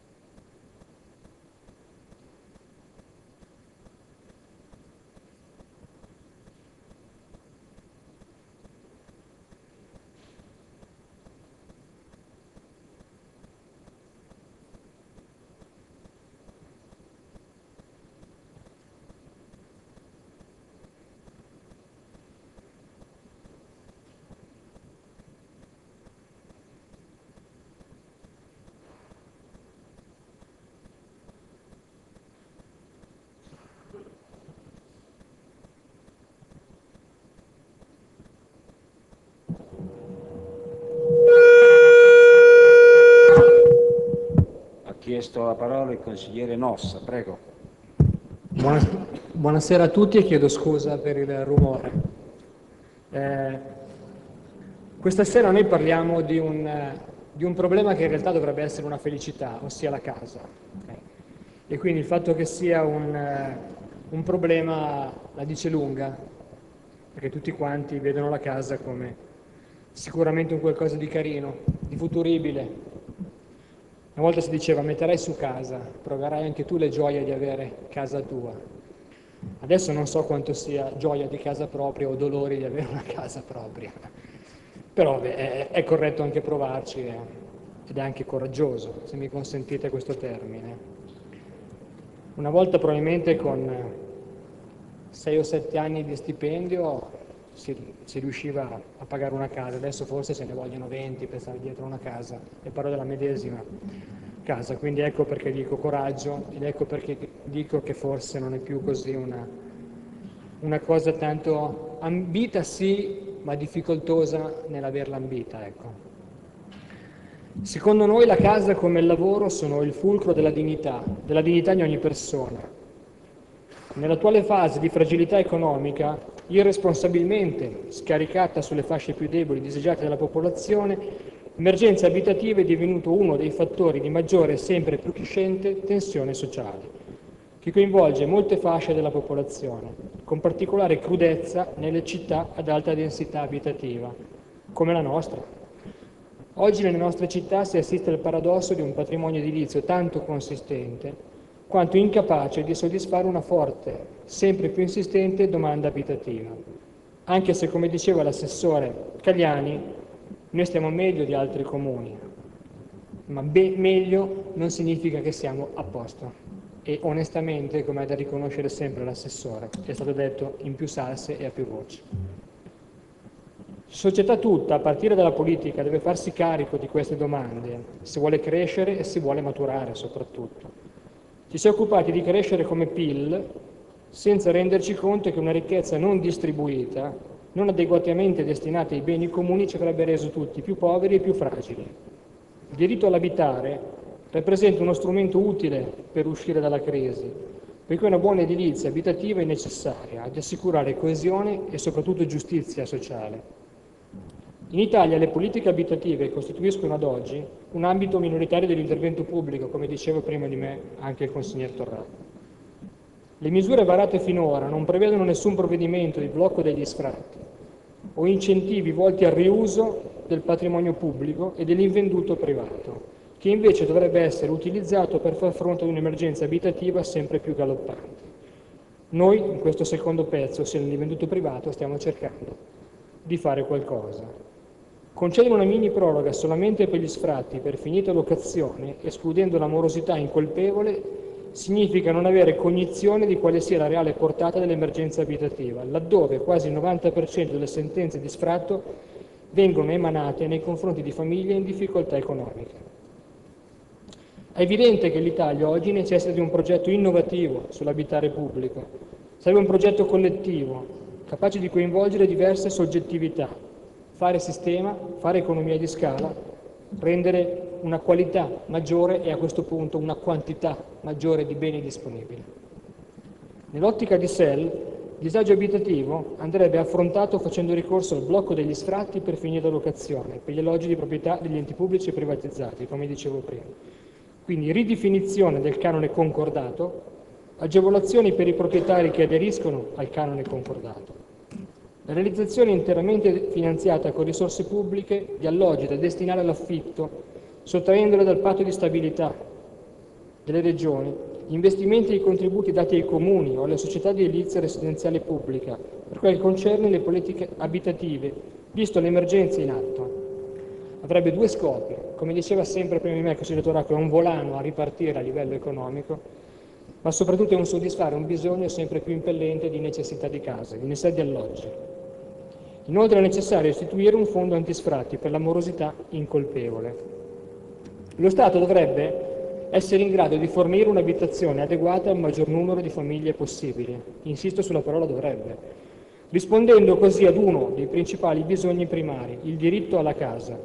Questo obiettivo strategico dovrebbe essere perseguito anche attraverso la riconversione ai fini abitativi di immobili abbandonati o dismessi, necessario rendere più conveniente, attraverso l'introduzione di un sistema bilanciato di incentivi e disincentivi fiscali, il recupero dell'esistente.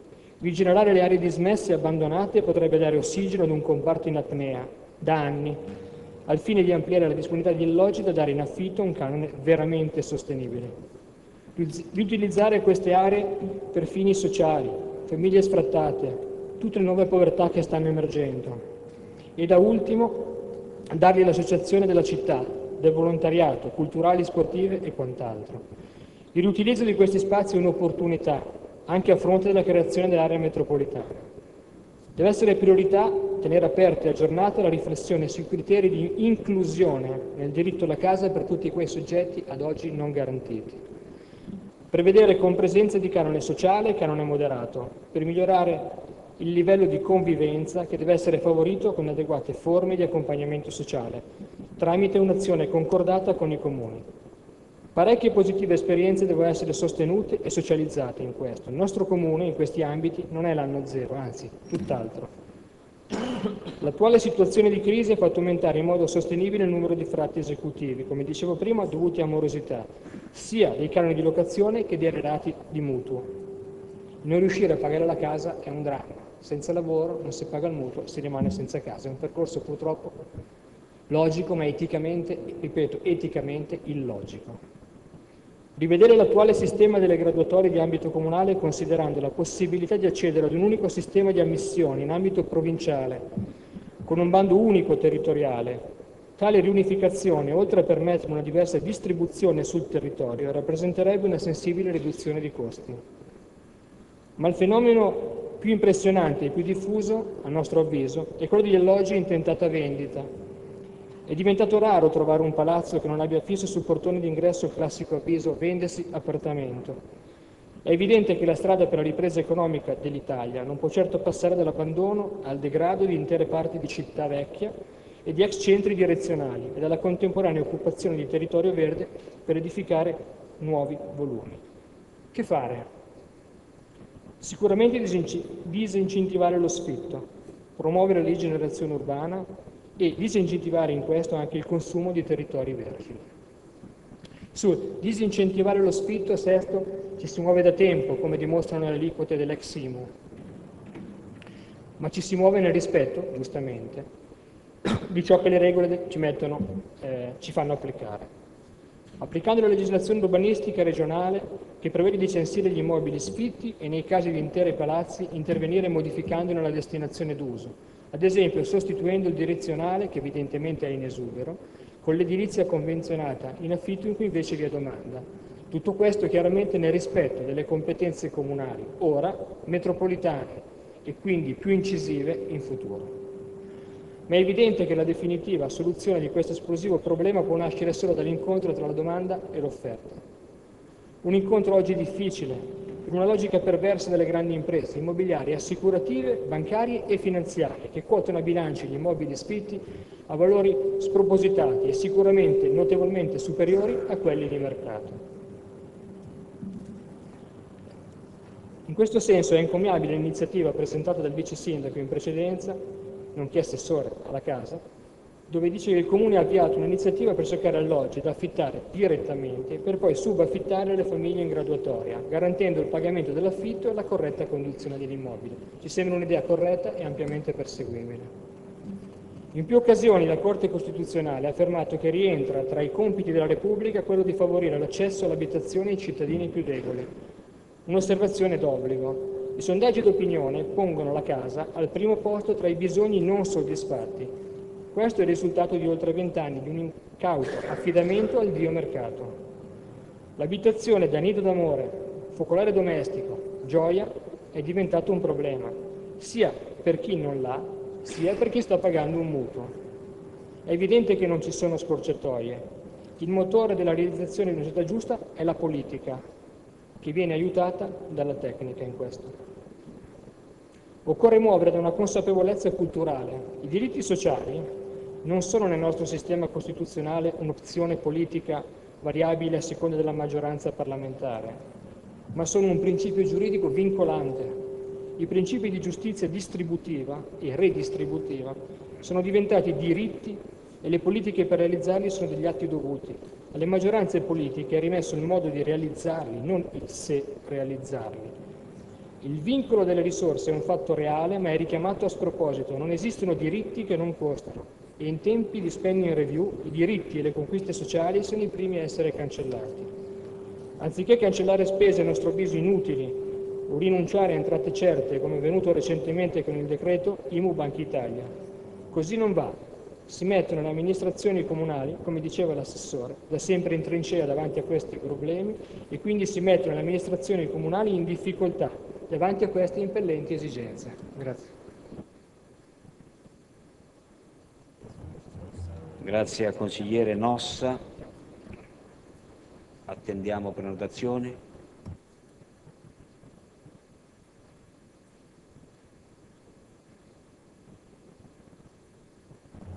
Volevo ricordare al Consiglio che comunque eh, prima della mezzanotte chiudiamo, no? a prescindere, per, per cui affrettiamoci a fare gli interventi.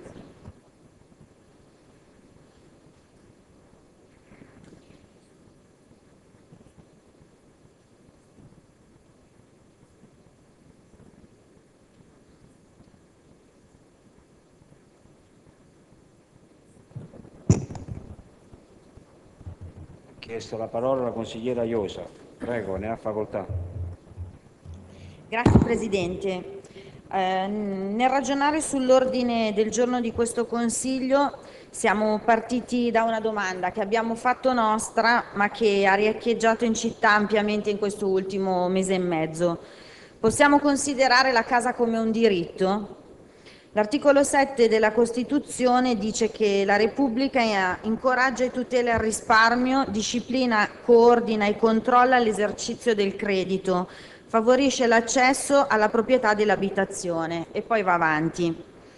Noi riteniamo che la casa sia uno degli elementi, come lo è sicuramente il lavoro, che concorre a dare dignità alle persone.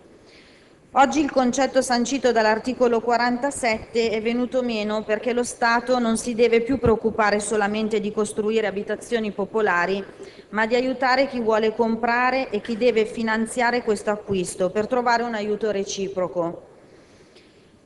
Qui vorremmo introdurre una nostra prima riflessione. Noi pensiamo che il famoso affitto a riscatto dovrebbe trovare molto più ascolto da parte eh, di chi costruisce in città non è pensabile, secondo noi, che i giovani laureati debbano fermarsi a un tempo indeterminato perché altrimenti non possono uscire di casa o formarsi una famiglia. La fase dopo la laurea dovrebbe essere esplorativa, quella che ti permette di muoverti, di cambiare, di sperimentare fino al raggiungimento del tuo iniziale obiettivo, eh, che era cosa vuoi fare da grande. Da questo punto di vista credo che il sistema di accesso al credito eh, si possa considerare un ammazzasogni. Dobbiamo fare i conti con il fatto che la mia è stata forse una delle ultime generazioni che ha potuto contare eh, sulla mamma, il papà e i nonni che comunque garantivano per noi. Si potrebbe pensare anche a un sistema come quello della Gran Bretagna, ovvero il leasing sulla casa, questa grave crisi economica poi eh, non ha fatto altro che aggravare una situazione che già stava in piedi per miracolo. Molte persone e famiglie non riescono più a pagare l'affitto o la rata del mutuo, finendo in morosità pesanti e successivamente portandoli a provvedimento di sfratto. Il problema assume dimensioni rilevanti creando una vera e propria area di disagio sociale che coinvolge in particolare le famiglie a basso reddito e i single ma anche, ma anche per i separati a emergenza casa. La separazione infatti aggrava fino a quattro volte l'emergenza abitativa. E qui vogliamo arrivare al cuore dell'argomento di stasera. Il patrimonio di case popolari di Sesto è notevole e nonostante la piena collaborazione che c'è tra Comune e Aler, noi crediamo che dovremmo iniziare a guardare il nostro, il nostro patrimonio cambiando un po' le regole del gioco che probabilmente non vanno più bene. Se ci impegniamo eh, in un progetto dove il diritto alla casa va certamente garantito, bisogna iniziare a pensare che trattandosi di un bene pubblico non si può considerare ad uso esclusivo di qualcuno. L'assegnatario non può più pensare di poter occupare l'immobile a vita e trasferirne magari la titolarità ai suoi eredi. Se i requisiti per vivere in pubblico alloggio permangono nel tempo, bene, ma se così non fosse, allora bisogna cederlo a chi è collocato utilmente nella graduatoria, offrendo una possibilità in più a chi ha davvero diritto e bisogno di un tetto. Per fare in modo che non ci siano dubbi o situazioni di, poco, di poca equità, si dovrebbero indicare all'interno dei canoni di locazione questo tipo di messaggio indicando su quali basi vengono assegnati gli appartamenti e se le basi sopra elencate vengono meno, come si intende procedere.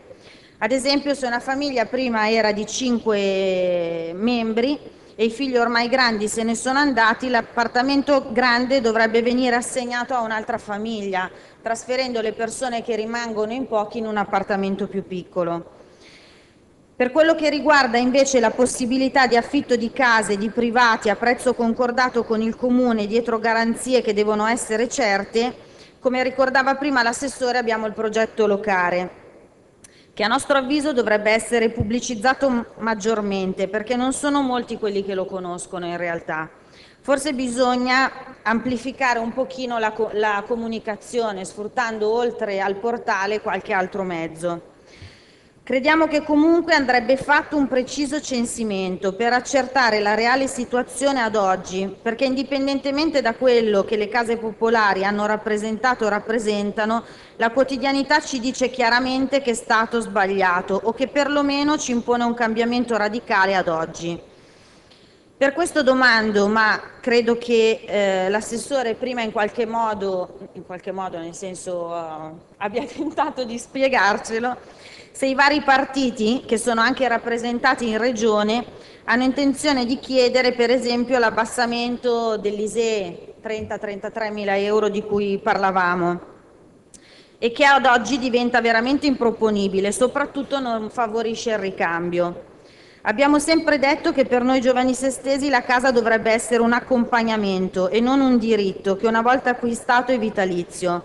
Ci siamo però scontrati nella commissione, nell'unica penso commissione fatta eh, con la Presidente Gioconda Pietra, ma anche nella commissione dell'Osservatorio Case, eh, contro il muro del realismo, dove c'è tutto un intreccio di escamotage che non fa mai cambiare le cose. Le proposte fatte stasera vanno in questa direzione, un cambiamento. Credo che sarebbe importante e molto interessante confrontarsi nella Commissione 3 eh, per verificare se eh, le varie cose che verranno fuori stasera poi sono realmente attuabili o in che modo. Eh, io credo fermamente che al di là di tutti gli atti istituzionali che poi noi andiamo a fare in quest'Aula, quella sia la Commissione che ci può dare la possibilità di esprimere la ragione per cui abbiamo deciso di vivere questa avventura amministrativa. Ultimo punto, ehm, da cui parte credo anche l'iniziativa di questo Consiglio eh, dedicato, è ehm, l'occupazione prima in Pregilo e ora, ora l'Italia. La nostra posizione verso l'occupazione eh, è una posizione di contrarietà. Noi non appoggiamo una situazione di illegalità, un abuso non può giustificare l'esigenza di soddisfare un bisogno. E come si legge e come eh, abbiamo letto in un volantino che dice la dignità non è un optional ma una condizione indispensabile, l'aiuto non deve essere elemosina ma solidarietà, non altruismo ma cooperazione, questo ci porta a dire che bisogna lavorare, cambiare ascoltare l'uomo, perché se la politica perde di vista l'uomo, allora a che cosa serve? Se la politica nega le risposte, non è a disposizione dei bisogni, non lavora per il tanto citato bene comune, che cosa ce ne possiamo fare? Chiediamo al Sindaco se dal momento in cui sono stati ascoltati i promotori di questa azione, quella sera che sono intervenuti in Consiglio Comunale, Ehm, promotori di questa azione molto forte. Le istituzioni hanno lavorato, condiviso o parlato con loro. Se tra l'occupazione di Impregilo e l'occupazione di Alitalia c'è stato un confronto. Se le accuse mosse, ma anche qui devo dire che l'assessore prima eh, mi ha dato risposta, ma magari in commissione si può approfondire eh, sul fatto che nessuno abbia, mh, nessun comune si sia battuto per attivare la commissione per la graduatoria degli sfratti presso le prefetture, se, quest- se riguardo a questa cosa è stato fatto qualcosa. E se è così alto il gap che c'è tra la nostra edilizia pubblica, eh, che sembra essere al 4%, e eh, quello che la comunità europea eh, propone, che è al 16%. Io devo dire che ehm, i progetti proposti all'interno dalle persone mh, che in questo momento stanno vivendo l'occupazione sono interessanti e secondo me meriterebbero un confronto e un ascolto da parte nostra, una discussione che possa in qualche modo eh, ricercare la possibilità del loro realizzo.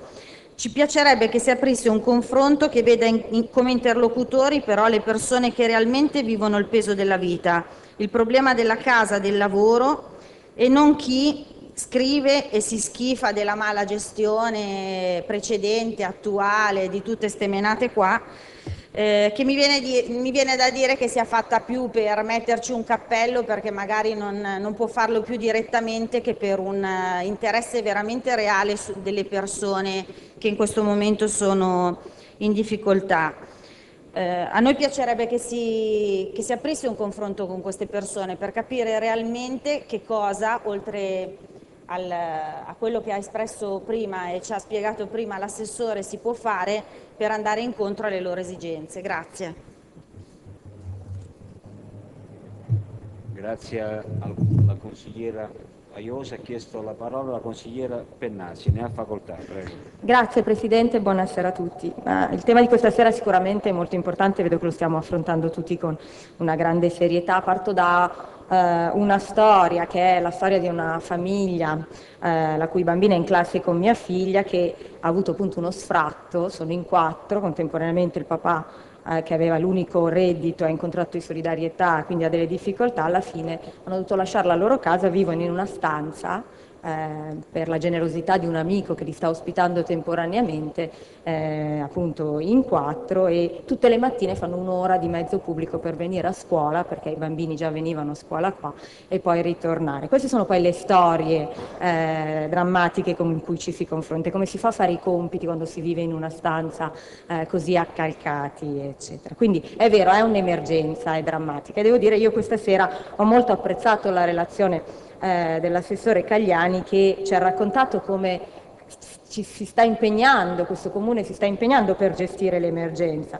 Ho molto apprezzato l'attenzione a cercare di creare dei, dei meccanismi comunque di eh, turnover in modo tale da cercare di liberare opportunità per chi eh, ha bisogno, così come meccanismi di sblocco di alcune situazioni come le case sfitte dove a un certo punto si coinvolgono soggetti diversi, eh, in una logica anche di una responsabilità sociale un po' condivisa, che era un po' l'appello che faceva eh, l'assessore, e del farsi carico eh, un, po' tutti nella, nella società, ognuno col suo ruolo e non solo chi lo ha come compito, come dovere eh, dei- dei- di questi bisogni. Quindi inne- innescare dei meccanismi che permettano di tampolare eh, questa emergenza e di agevolare eh, la soluzione per piccoli numeri che possono crescere diventare importanti, ma ogni singola storia di ogni singola famiglia o di ogni bisogno è una storia, sono d'accordo con quello che diceva l'assessore Cagliani, è una storia importante. Eh, penso che si debba anche, in questo andava un po' la, di- la direzione diciamo, della conclusione dell'intervento dell'assessore quando parlava della legge regionale, si debba andare anche verso della- delle soluzioni che rappresentino anche delle possibili nuovi sistemi strutturali di risposta a questo tipo di eh, bisogno, che dai dati che ci vengono dati dei flussi eh, migratori, dei flussi dal sud del mondo, dai paesi eh, più poveri non, eh, non si fermeranno. E quindi questo tipo di bisogno laddove parliamo di un mercato immobiliare che sembra saturo, per cui ci sono case che vengono costruite e non vendute, per cui diciamo, c'è un mercato per i ceti eh, medi e eh, benestanti che ormai sembra saturo, dall'altra parte ci sarà sempre più un bisogno invece sociale di case, di un certo tipo di case. Allora, una, una cosa che penso dovremmo iniziare a considerare e a ragionare è anche il tema del patrimonio che abbiamo eh, che ha un patrimonio importante, veniva detto, una delle città con una, una maggior risposta, però è un patrimonio anche molto costoso, sempre più difficile da manutenere, la manutenzione è diventato sempre di più un problema. Allora, uno dei ragionamenti su cui secondo me eh, dovremmo appunto ragionare come rimettere in circolo un po' di risorse e quindi fare un ragionamento magari anche di possibilità di riscatto per chi può, per chi magari da tanti anni sta in una casa, la condizione economica è diventata tale per cui si può immaginare che ovviamente con delle condizioni eh, agevolate da considerarsi si si possano queste, possano queste case diventare magari di proprietà eh, e eh, le risorse che si attivano con questo meccanismo immaginarle in una specie di eh, circolo virtuoso per poi reinvestirlo ovviamente per rispondere ai bisogni invece di chi questo diritto non è ancora riuscito ad averlo per le giovani famiglie, per ehm, i single, i genitori singolo o divorziati, per i nuovi bisogni, per le nuove emergenze. per- Ecco, io penso che anche un ragionamento di questo tipo possiamo iniziare a fare. So benissimo, perché ne ho già parlato anche eh, in passato, che ci sono dei vincoli ehm, nelle normative legali, ci sono dei problemi economici, eccetera. Però mh, penso che forse una soluzione vada cercata anche in questa direzione perché eh, in questo paese purtroppo eh, da un lato, purtroppo per fortuna, da un lato ci sono delle categorie intere che hanno dei diritti stragarantiti e intoccabili benissimo, ma non si riesce mai a sbloccare invece rispetto ai nuovi bisogni, a chi questi diritti non riesce ad averli neanche proprio al minimo, questo vale per esempio come può succedere nel mercato del lavoro, vale su un altro diritto fondamentale che è quello della casa. E io credo che dovremmo cercare di fare il possibile per creare turnover, per tamponare l'emergenza, per rispondere ai bisogni e credo che questo lavoro che ci è stato raccontato oggi sia un lavoro fondamentale, ma anche per rimettere in circolo eh, delle risorse, delle energie per riuscire veramente a, anche strutturalmente, anche in una prospettiva, costruire delle risposte per questi bisogni. Grazie. Grazie alla consigliera Pennasi. Ha chiesto la parola la consigliera Antoniolli. Prego, ne ha facoltà. Grazie signor Presidente, buonasera a tutti. L'emergenza casa è un problema che riguarda un gruppo limitato di popolazione, ma purtroppo colpisce proprio le fasce più deboli, più deboli, quelle in cui un basso reddito si accompagna alla presenza di minori o di anziani, senza dimenticare anche l'eventuale disabilità. Come abbiamo sentito dalla relazione dell'assessore Cagliani, i 150 sfratti nel 2013 sono stati affrontati con l'intervento dell'amministrazione con varie soluzioni e sono grata come cittadina per le soluzioni adottate. Però questi 150 sfratti non rappresentano la totalità delle difficoltà abitative in città. Le richieste di alloggio a canone sociale a canone moderato in città sono infatti quasi 900. Questo è però il numero che indica la soglia di difficoltà abitativa conclamata. Sappiamo tutti che a questo numero dovremmo aggiungere il numero delle persone che fanno fatica a pagare l'affitto ogni mese. Dovremmo aggiungere il numero gio delle giovani coppie che faticano a trovare un'abitazione ad un prezzo accessibile per i loro stipendi. Dovremmo aggiungere il numero delle ragazze e dei ragazzi che ultra trentenni devono continuare a vivere in famiglia perché non esistono case o stanze che abbiano un prezzo possibile per loro. A questo numero dovremmo anche aggiungere le persone che hanno perso il lavoro e che sono in grave difficoltà lavorativa e che non possono più pagare il mutuo. E qui le banche hanno una grossa responsabilità. Non aiutano, non aspettano, vogliono tutto e subito e mettono le famiglie e le persone in situazioni drammatiche. Trovo le risposte individuate dall'amministrazione comunale intelligenti e flessibili, volte a trovare soluzioni utili alle persone che, han, che vanno incontro alla stabilità delle famiglie coinvolte e con, e con non, non solo a semplice superamento momentaneo delle difficoltà.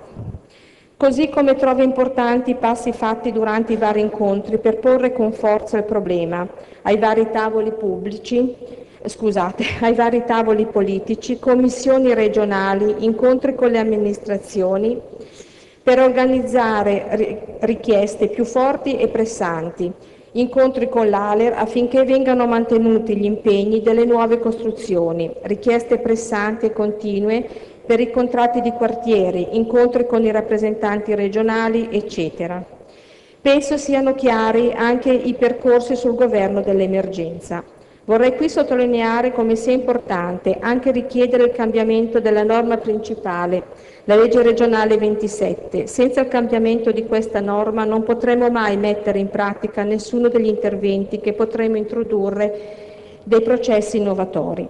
Alcuni esempi che vengono sempre indicati, che possono portare a riflessioni, discussioni. La casa popolare non è più possibile considerarla per sempre, ma è una possibilità che va a rispondere alle necessità anche per periodi molto lunghi, necessità legate al reddito e a condizioni sociali particolari. Se tali condizioni cambiano, cambiamento di reddito, miglioramento delle condizioni di vita, eccetera, deve, dovrebbe cambiare anche il diritto alla casa o deve cambiare perlomeno il suo affitto. Se con il passare degli anni la casa non è più abitata da una famiglia numerosa, deve essere possibile prendere in considerazione un passaggio ad un'abitazione più piccola. anche se non è facile perché le persone anziane per le persone anziane diventa difficile cambiare, farle spostare, però probabilmente nel regolamento quando si dà la casa bisognerebbe metterlo per iscritto, cosa che al momento non c'è. Così come sembra improponibile mantenere un reddito massimo alto di circa 35.000 euro per poter continuare ad aver diritto ad una casa popolare. In questo modo si crea un giro legato a pochi cambiamenti, al mantenimento di affitti bassissimi a fronte di redditi complessivamente medi e al perpetuarsi di liste di attesa a cui non si potrà mai dare una risposta, lista al cui interno troveremo sempre più persone anziane. Si ingenera così sul territorio non solo un'emergenza abitativa a cui dover rispondere, ma anche una tensione abitativa cui le amministrazioni, tutte non solo la nostra, non possono e non potranno più rispondere. Penso che si possa di nuovo invitare il prefetto ad attuare una graduazione degli sfratti, visto il, per, visto il particolare momento di difficoltà che stiamo attraversando. Infine penso che bisognerebbe ampliare quello che sta facendo l'amministrazione comunale attraverso una collaborazione attenta, una collaborazione attiva con altri comuni e le istituzioni esistenti. Avere una città eh, viva, una città attiva che vada incontro ai disoccupati, incontro a chi ha bisogno della casa. Grazie. Grazie alla consigliera Antonioli. Ha chiesto la parola il consigliere Gianvecchio. Ne ha facoltà. Prego. Grazie Presidente. Niente, eh, io volevo introdurre l'argomento sulla base della, delle proposte che sono state fatte stasera da, um, da, dal vice sindaco Cagliani, che sono condivisibili. Eh, comunque, premettendo che siamo consapevoli che, che quello delle politiche abitative è un argomento che tutti i comuni si trovano ad affrontare per la grande richiesta di appartamenti provenienti da famiglie, da famiglie con gravi disagi economiche. E questo fenomeno eh, che, che, prende il nome, secondo me e comunque secondo anche altri studiosi, di vulnerabilità sociale, che, deve, che, deve, dire, che devo dire si distingue dal concetto di, eh, classico di povertà, perché la vulnerabilità sociale intendo quella situazione di incertezza dei nuclei familiari che non riescono più ad accedere a quei beni primari per sopraggiunti eventi improvvisi che fanno mutare la propria condizione abitativa, eh, finanziaria e lavorativa, soprattutto il mutamento delle relazioni affettive. Eh, queste condizioni, come tutti sappiamo, sono dovute a diversi fattori, e infatti eh, li stiamo analizzando anche stasera, spesso sugli interventi che sono venuti fuori, la, la perdita del lavoro, eh, il cambiamento, il cambiamento di, col cambi, seguente cambiamento di reddito eh, e la ribalta della novità, ove le relazioni affettive e familiari vengono a mancare a causa di separazioni, questo è importante. Eh, spesso e ultimamente sono cresciute, sono cresciute quelle famiglie che si sono separate quindi la povertà che colpisce queste persone, questi separati, eh, che devono trovarsi una casa e devono passare gli alimenti, spesso colpisce la necessità di trovare una casa che possa garantirgli cioè, una, una, una, sopravvivenza. Eh, I continui tagli del welfare praticati dai governi che si sono succeduti hanno portato sempre più all'intensificarsi di questo fenomeno che viene lasciato alle risoluzioni dei comuni.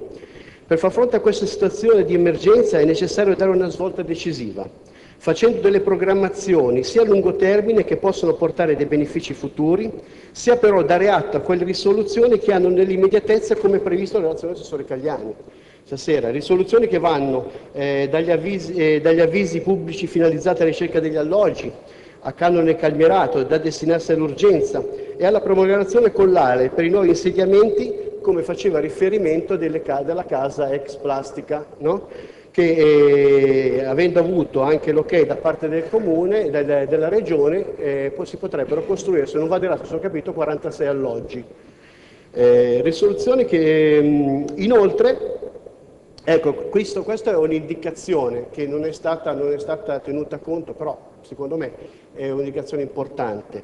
Eh, la considerazione per la programmazione futura eh, dello sviluppo del social housing non so eh, se ne avete tenuto in considerazione di, questa, di, questo fenomeno che sta prendendo piede in tutta Europa e anche, anche il Comune di Milano e il Comune di Torino stanno già avviato questo percorso. Eh, il social housing è ormai un termine diffuso eh, scusate ma a me piace definirlo edilizia sociale, io sono stufo di queste parole eh, anglofone, cioè eh, spendi review, eh, social housing, cioè, mi piace parlare italiano, edilizia sociale, revisione della spesa e queste cose qui. Ehm, quando si pensa all'edilizia sociale si è portati a pensare ad alloggi dati in affitto, a famiglie disagiate. In altri paesi questo concetto include anche la proprietà delle cooperative in social housing, ricadono quegli appartamenti che sono realizzati, venduti o affittati a determinate fasce di popolazione secondo regole diverse dal libero mercato. Questo è importante perché si dà la possibilità alle cooperative, in accordo con i comuni, di, di trovare quelle aree dove a, edificare a prezzi veramente eh, accessibili a, um, anche per le giovani coppie, per le, per, le, per le, persone che sono comunque in, uh, in crisi economica. Eh, il social housing è un importante strumento attraverso il quale con la sua attrazione e diffusione si possono ottenere benefici per l'intera cittadinanza, sia dalla coesione sociale sul territorio, sia dalla partecipazione tra pubblico e privato sul tema dell'abitare equo.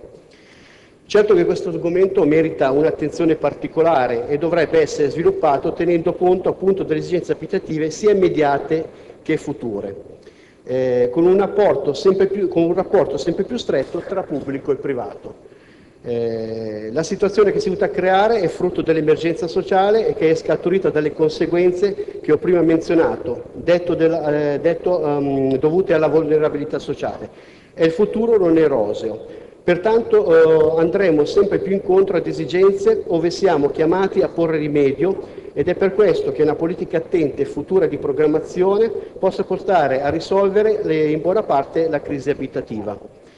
Poi, eh, una cosa che comunque ci tenevo a ribadire, ehm, che la casa comunque è un bene comune, questo è stato ribadito come concetto da diversi consiglieri che mi hanno preceduto. Ed è anche, io ribadisco che la casa comunque come tanto non è per sempre, Cambiano, cambia la vita, cambiano i redditi e, e cambiano anche le, le, persone che ne occupano questi, questi appartamenti. È impensabile, è impensabile pensare che eh, una persona magari viva in quattro locali. È, vero che ha un legame affettivo, però magari ci sono esigenze diverse eh, che, che, possono, che, che devono essere assolutamente tenute conto. Eh, in più alt- mi appoggio anche a, una, a, un cenno che ha fatto la consigliera Pennasi sul fatto di, ehm, di riscattare queste case, inglobando del denaro per poi magari rimetterlo sul mercato. Ecco, queste sono le indicazioni, le indicazioni che, eh, che, mi sento di dare e mi sento anche di dover, di dover, ribattere sul fatto di portare in commissione, in terza commissione, il social housing, che è uno strumento importante di sviluppo e di previsione futura. Grazie. Grazie al consigliere Gianvecchio. Ha chiesto la parola il consigliere Tremolato. Ne ha facoltà, prego. Grazie Presidente. Eh, vorrei dare un contributo sulla sollecitazione del, eh, dell'assessore Cagliani, visto che ci ha sollecitato. Io entro così un po' in punta di piedi in questo tema che è molto complesso e, e, difficile da trattare per dare un, un, uno spunto eh, tra, i tanti tra i tanti aspetti di cui è composto il problema ne vorrei mettere a fuoco uno. Parto da un dato che ha citato Cagliani. Eh, facendo un conto su 950 alloggi ne vengono liberi circa 50 all'anno, vuol dire che una casa ruota in circa 20 anni. Se togliamo i subentri ruota in circa 40 anni. Questo vuol dire praticamente a vita. Cosa vuol dire? Il rimedio al, al problema che stiamo cercando eh, di trattare questa sera non funziona, non funziona più eh, e non è strutturale soprattutto. Cosa succede poi? La, la, prima cosa che siamo costretti a chiedere è il blocco dello sfratto, eh, che è necessario perché siamo di fronte a quel punto a un'emergenza sociale, eh, eh ma, ma dall'altro canto eh, va, lede un diritto di un proprietario della casa. Quindi eh, si scarica quello che è un welfare che si vorrebbe garantire a tutti su alcuni poi proprietari di case. Eh, non lo si risolve quindi il problema, lo si, lo, lo si tampona creando un altro problema. Questo genera una bassa propensione all'affitto della casa e eh, questa bassa propensione non si combatte secondo me con, eh, un, non c'è nessun incentivo che tenga, se uno eh, è consapevole del fatto che il suo, il suo alloggio che ora in questo momento non gli serve lo pone in affitto e non è, non è certo che quando ne avrà bisogno ne potrà disporre. Eh, questo crea due distorsioni, da una parte una, una, uno svantaggio per tutti, per proprietari e per inquilini, perché il proprietario è bloccato nell'affitto per questa remora che ho descritto e, e, chi ha bisogno della casa non vi può accedere.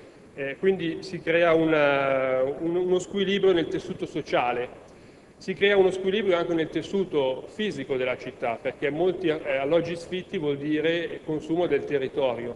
Quindi eh, quello che è la nostra soluzione per tamponare il problema crea una distorsione di questo tipo.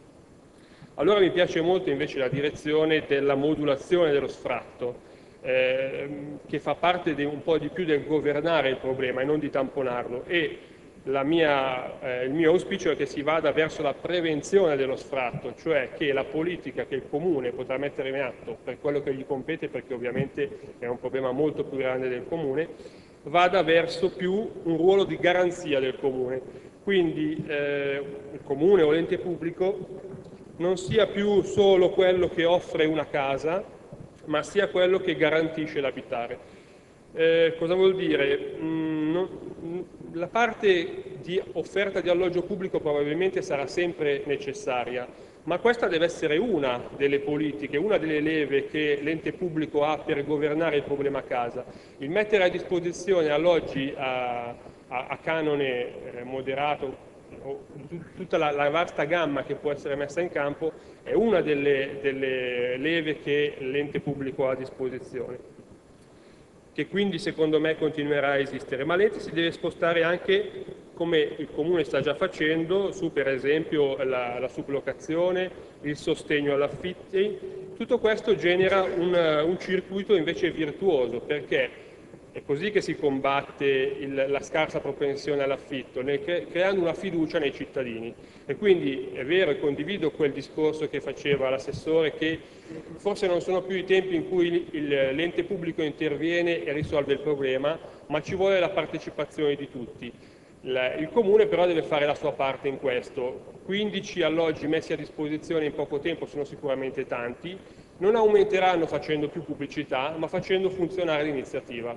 Cioè se eh, più cittadini si sentiranno tutelati da quello che è il ruolo del, del Comune, di Sesto e di tutti gli altri enti nel rientrare in possesso della loro casa quando ci sarà bisogno, questo schema prenderà piede secondo me molto, in maniera preponderante rispetto invece all'offerta diretta dell'ente. Quindi la mia, la mia, proposta è una sola, il mio, il mio indirizzo che vorrei dare è uno solo, il Comune faccia la sua parte, continui a fare la sua parte come è stato prospettato, liberando delle risorse non più per costruire delle case, eh, ma per moltiplicare queste risorse. Cioè se, io, se il Comune ha eh, risorsa per comprare un alloggio, probabilmente non è più tempo per comprare un alloggio, per dare risposta a una famiglia, ma come già viene fatto, gli stessi soldi possono essere messi in un circuito virtuoso di sostegno al, al, all'affitto, di eh, manutenzione di alcune case, di divisione a metà. La fantasia in questo degli uffici comunali aiuta perché si dia risposta a tantissime persone e soprattutto eh, ponendo questi soldi a disposizione dell'amministrazione comunale che sono sempre meno, a garanzia di eh, alimentare quel circuito virtuoso, secondo me la risposta verrà molto più dal privato ma sarà garantita dall'ente pubblico. Grazie al consigliere Tremolata. Ha chiesto la parola la consigliera Franciosi. Prego, ne ha facoltà. Grazie Presidente. Buonasera. L'argomento in discussione stasera è estremamente importante e aderente alla realtà sociale che stiamo vivendo. Riteniamo che la realtà che stiamo vivendo, eh, cioè quella di mancanza di abitazioni di edilizia popolare o a canone agevolato, non sia altro che l'effetto di una sbagliata gestione del recente passato della pianificazione delle costruzioni sul nostro eh, territorio. Infatti nei nuovi piani edilizi che sono stati recentemente approvati manca completamente la pianificazione in questo senso. Negli anni sono stati, secondo noi, erroneamente monetizzati quei metri quadri di abitazione che avrebbero potuto dare una risposta abitativa in questo momento di crisi. Ovviamente nessuno si poteva ipotizzare la crisi quando eh, quei piani sono stati attuati, però il fatto è che non, non, è, data, non è, stato dato ampio spazio a eh, questo tipo di soluzioni. Sarebbe utile capire come quelle monetizzazioni siano state investite. Forse sarebbe stato possibile riutilizzare quei fondi per ristrutturare o rendere abitabili quegli edifici che fanno parte del patrimonio comunale. A questo punto noi torniamo a riproporvi ciò che vi abbiamo immediatamente proposto appena insediati. Fate un censimento degli edifici vuoti, soprattutto quegli edifici vuoti che in teoria dovrebbero essere dedicati ad edilizia libera, in modo da poter dare respiro a questa situazione di crisi. Questa sicuramente non deve essere una soluzione a lungo termine, nel senso che non è possibile togliere al privato ciò che si è costruito, ma può essere sicuramente utilizzato come cuscinetto per far fronte all'emergenza che stiamo vivendo. Sono tanti e su tutto il territorio ci sono edifici in edilizia libera di nuova costruzione che sono vuoti e questa situazione fa ben capire come la strategia di gestione delle nuove costruzioni sia stata di fatto scorretta. Ci sono case a disposizione che nessuno può comprare, ma ci sono persone che rischiano di rimanere senza un tetto sopra la testa perché non possono pagare la casa. Questo è un paradosso e bisogna sicuramente agire in tal senso e sfruttare l'esubero abitativo per poter far, fronte a questo disagio e se possibile mandare un segnale chiaro anche ai costruttori. Si costruisce edilizia libera solo se c'è la domanda di acquisto e se le norme non lo consentono bisogna rivederle perché non sono più di fatto aderenti alla realtà che stiamo vivendo. Sicuramente la discussione del PGT ormai prossima ci potrà dare gli strumenti per poter rivedere questa pianificazione, anche in termini di edifici vuoti da poter riutilizzare. Speriamo per il futuro che non si ricorra più alla monetizzazione di quei pochi metri quadrati che potrebbero essere realizzati come appartamenti in edilizia popolare o a canone agevolato. Grazie. Grazie alla consigliera Franciosi. Ha chiesto la parola la consigliera Landucci. Prego. Grazie. Grazie, ma io sono molto perplessa stasera, nel senso che cioè, chi direbbe che non bisogna trovare soluzione al problema della casa? Tra l'altro siamo stati invitati da una maggioranza a questa discussione. La consigliera Franciosi ha appena detto che è un tema così sentito. Devo dire infatti che gli spalti rigurgitano di cittadini interessati al problema. No? Vedo che veramente abbiamo folle furibonde che stanno cercando di capire. È chiaro che questa discussione è stata voluta e costruita come dire, ad usum delfini, cioè ad uso politico perché quando i problemi interessavano i cittadini, i cittadini sono venuti. Noi sappiamo tutti che c'è stata l'occupazione di cui parlava, mi pare, il consigliere Nossa prima, prima di una casa, poi di un'altra. Direi che sulle, sui media della città se ne discute. Io pensavo stasera di vedere qualcuno dell'Unione Inquilini che tanto si agita, non c'è nessuno. Cioè, secondo me c'è una totale discrasia tra le cose, no? Siamo un po' schizofrenici stasera, ci parliamo tra di noi dicendoci tutti le stesse cose, no? Perché chiaro, cosa dobbiamo dire? Dobbiamo dire vogliamo la gente per strada? No, no chi mai direbbe che, non, che vuole la gente per strada? Che dorme, no? Vogliamo dire che non è un problema quello dei padri separati? Sì, è un problema. È un problema, la, no, com'è la, eh, l'amorosità, come si chiama? L'amorosità incolpevole, eh?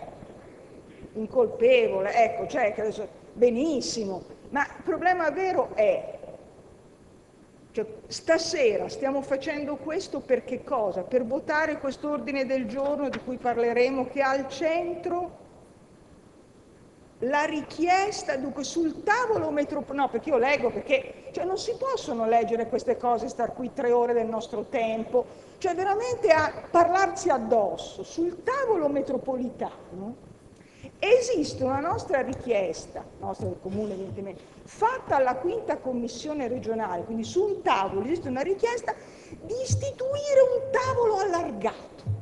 Cioè il tavolo metropolitano non essendo sufficiente, abbiamo fatto una discussione allargata stasera per istituire un tavolo allargato che sicuramente risolverà i problemi abitativi. Cioè è chiaro che il problema è complesso, è chiaro che ci abbiamo mangiato sopra tutto quello che si poteva mangiare, no? compreso il fatto che i comuni hanno dato, certo che hanno dato i permessi per costruire alla cieca, perché ognuno cerca di avere le risorse dove può. I comuni hanno come unico leva per fare soldi le, gli oneri di urbanizzazione e quindi hanno cementato l'Italia.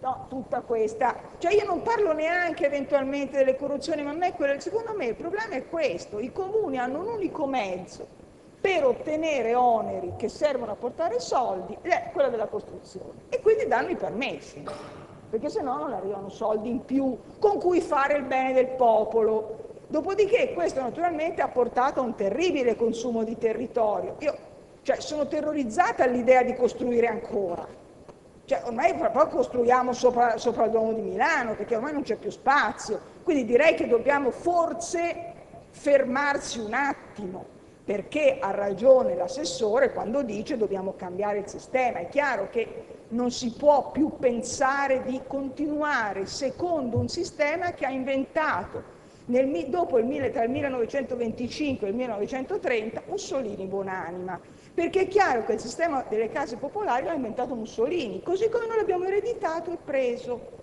perché prima c'erano soltanto i paternalismi delle grandi aziende che facevano i villaggi operai, no? quindi la, la Falche piuttosto che Crespidata, io sono cresciuta nei villaggi delle miniere, no? in cui la, Monte, la Montecatini prima, la Montedison dopo, dava le case, faceva... Eh, ma queste case qui non erano, erano, stavano di proprietà della società che le girava ai propri dipendenti. No? Io ho girato per 15 anni le case che non erano nostre, che erano della società che le dava a rotazione fin quando le miniere hanno chiuso. Dopodiché invece Mussolini, che era, molto, che era statalista, molto statalista di, di, mentalità, ha detto no, non lasciamo ai privati questa cosa, facciamo noi. E sono nate le case popolari. Infatti le prime case popolari sono tutte degli anni 20, stile razionalista, l'ultimo stile civile di questa nazione, dopodiché, dopo la seconda guerra mondiale è venuto fuori di tutto, una tragedia architettonica, ma questo è un altro discorso. Ma è chiaro che non si può continuare così. È chiaro che il sistema era diverso ed è chiaro che oggi io vi voglio vedere andare a prendere quelli che sono nelle case popolari a tirarle fuori perché hanno l'ISE troppo alto. Auguri, buon viaggio. cioè, vi auguro di uscire vivi da quei cortili delle case popolari, che non vi mangino vivi. Perché qui in Italia dall'epoca di Mussolini e dal dopoguerra ci si è convinti che nel momento in cui uno prendeva la casa popolare non la mollava più.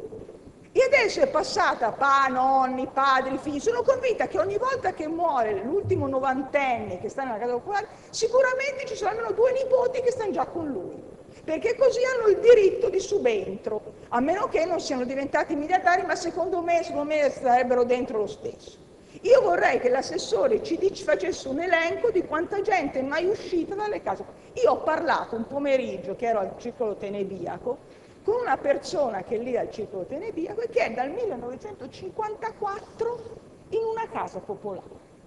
Chiede che è in centro perché è via Magenta e lei dice, io se, no, lui dice, ma io ho sempre pagato, ma certo che ha sempre pagato ha sempre pagato chiaramente una cifra assolutamente fuori mercato, ma l'idea che uno gli potesse dire, beh adesso eravate in quattro, sei rimasta da sola, adesso...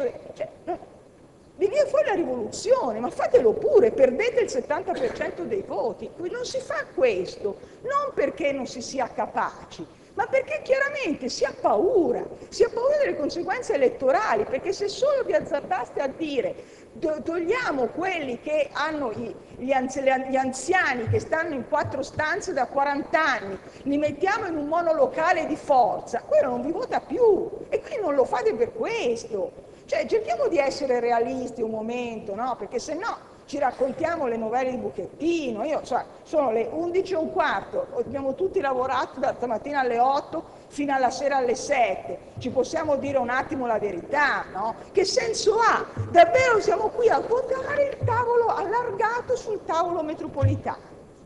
Sicuramente sarà una soluzione mirabile.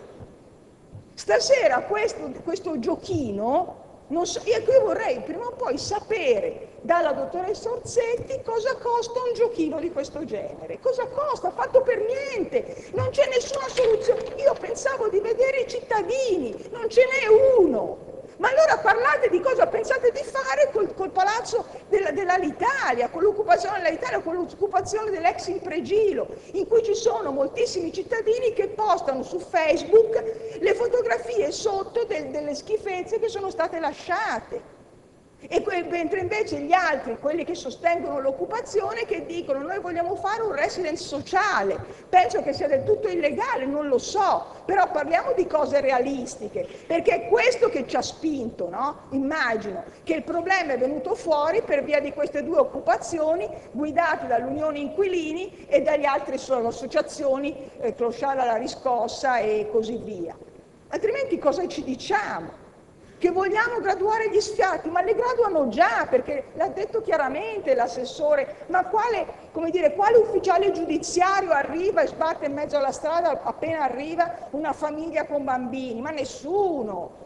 Cioè non esiste, queste cose qui non esistono in Italia da almeno 50 anni si graduano fin quando è, certo, fin quando è possibile, perché è chiaro che se tu stai in una casa privata e sono tre anni che non paghi un, un euro d'affitto, cioè anche quel povero proprietario di casa non è che l'opera Pia Bonomelli, no? Cioè per quanto potrà sostenere il bisogno sociale da solo. Nel frattempo speriamo che, che lo sfratto esecutivo gliel'abbiano dato, se no ci paga anche le tasse sui soldi che non prende, perché è così il sistema. Tu fin quando non hai lo sfratto esecutivo sei obbligato a mettere nella dichiarazione dei redditi i soldi che non hai preso, perché hai un contratto ufficiale. Poi nel frattempo naturalmente tutti sappiamo che nella zona di via Marconi ci sono locazioni a una persona in cui ci sono dentro 40 persone, ma non gratis ognuno di questi paga 500 euro il posto letto a chi, alla, all'inquilino ufficiale che normalmente è un connazionale, che così si trova un ottimo reddito su cui giocare. Quindi, cioè, allora, ci sono problemi molto seri che secondo me di cui si potrebbe forse parlare meglio, questo è proprio un argomento da commissione, non da consiglio, però anche lì relativamente, perché noi non abbiamo il questi qui sono i poteri della, della, magistratura, sono i poteri della polizia, dell'ufficiale giudiziario, forse del prefetto, ma noi cosa possiamo fare? Forse dobbiamo cominciare, sono contenta di sentire che ora anche da quella parte lì si comincia a, a parlare di quello di cui noi parliamo da dieci anni, cioè di affittare le case dai privati direttamente come comune per darle a rotazione, per cui cominciare a pensare di, di dare alle case a riscatto, perché quello che rende insostenibile l'ALER le, è la manutenzione dei palazzi dell'ALER, che fra poco crollano in testa agli inquilini che ci stanno dentro, perché senza manutenzione straordinaria non si fa nulla e la manutenzione straordinaria è quella che sta ammazzando l'ALER sotto una mondo, a parte che l'hanno anche rubato sicuramente, però anche senza rubare, è chiaro che è la manutenzione straordinaria che rende impossibile la gestione di questo patrimonio, che ormai non è un patrimonio, è un debito. Quindi io dico che veramente queste cose qui, adesso, adesso speriamo di finire in un tempo ragionevole, meno male che il Presidente ha detto prima di mezzanotte, quindi discutiamo questo ordine del giorno, che lo votate, ve lo votate, andate via con la coscienza tranquilla, non è cambiato nulla naturalmente, perché cioè, non possiamo far cambiare nulla, ma l'idea di fare un tavolo allargato rispetto al tavolo metropolitano sicuramente vi allargherà il cuore. Me mi lascia molto perplessa, però io sono molto cinica e cattiva. Secondo me però voi invece sarete felici di votare perché tutto si riduce alla votazione di questo ordine del giorno. Cioè se questo vi fa felici, benissimo. ci è costato un po' di tempo, fatica e denaro, ma nel, come dire, nella somma di una vita umana ci può stare. Grazie alla consigliera Landucci. Ha chiesto la parola il consigliere Foggetta. Prego. Allora, io vorrei ricordare che la, qualche settimana fa pubblico sugli spalti c'era, poi la discussione è stata rimandata e questa sera non sono venuti, ma qualche settimana fa sul tema casa il pubblico c'era e c'era anche in abbondanza. Eh, passando ad altro, poche settimane fa la rivista Time ha pubblicato un lungo intervento su Marx definendolo un profeta e dicendo che gran parte delle sue previsioni si sono avverate. Perché dico questo? Va bene, ho detto la rivista Time, non ho detto lotta comunista, ci tengo a dirlo, visto che vedo eh, dibattersi di là.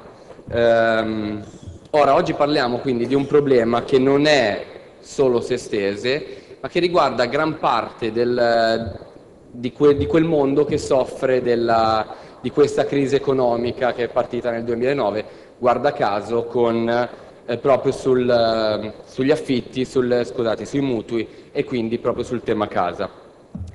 Parliamo di questo, di questo problema che non è l'esito del, um, della crisi di un sistema, ma una delle naturali conseguenze, scusatemi, una delle naturali conseguenze di questo sistema che stiamo vivendo oggi.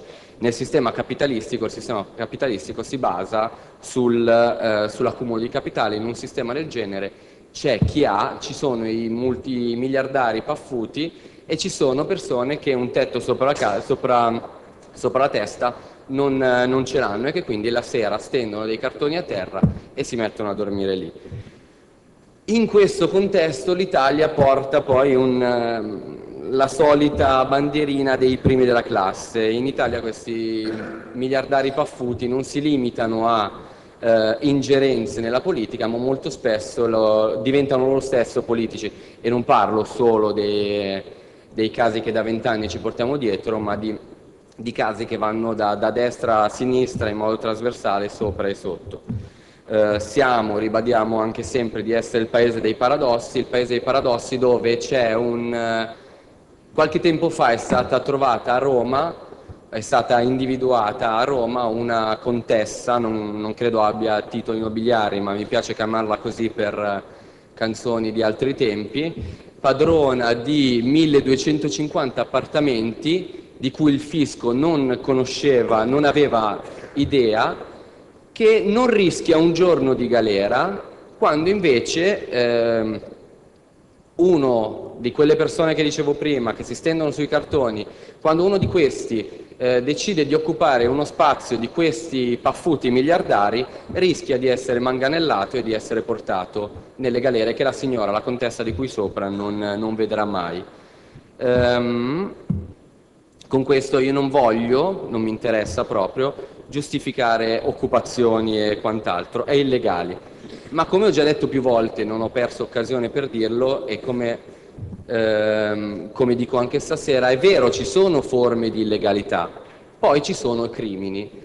Per quanto mi riguarda, questo è un parere personale, eh, il crimine, i crimini sono abbandonare spazi di una portata come quelli che sappiamo in mezzo a centri di città, in mezzo a punti eh, fondamentali della, delle varie città.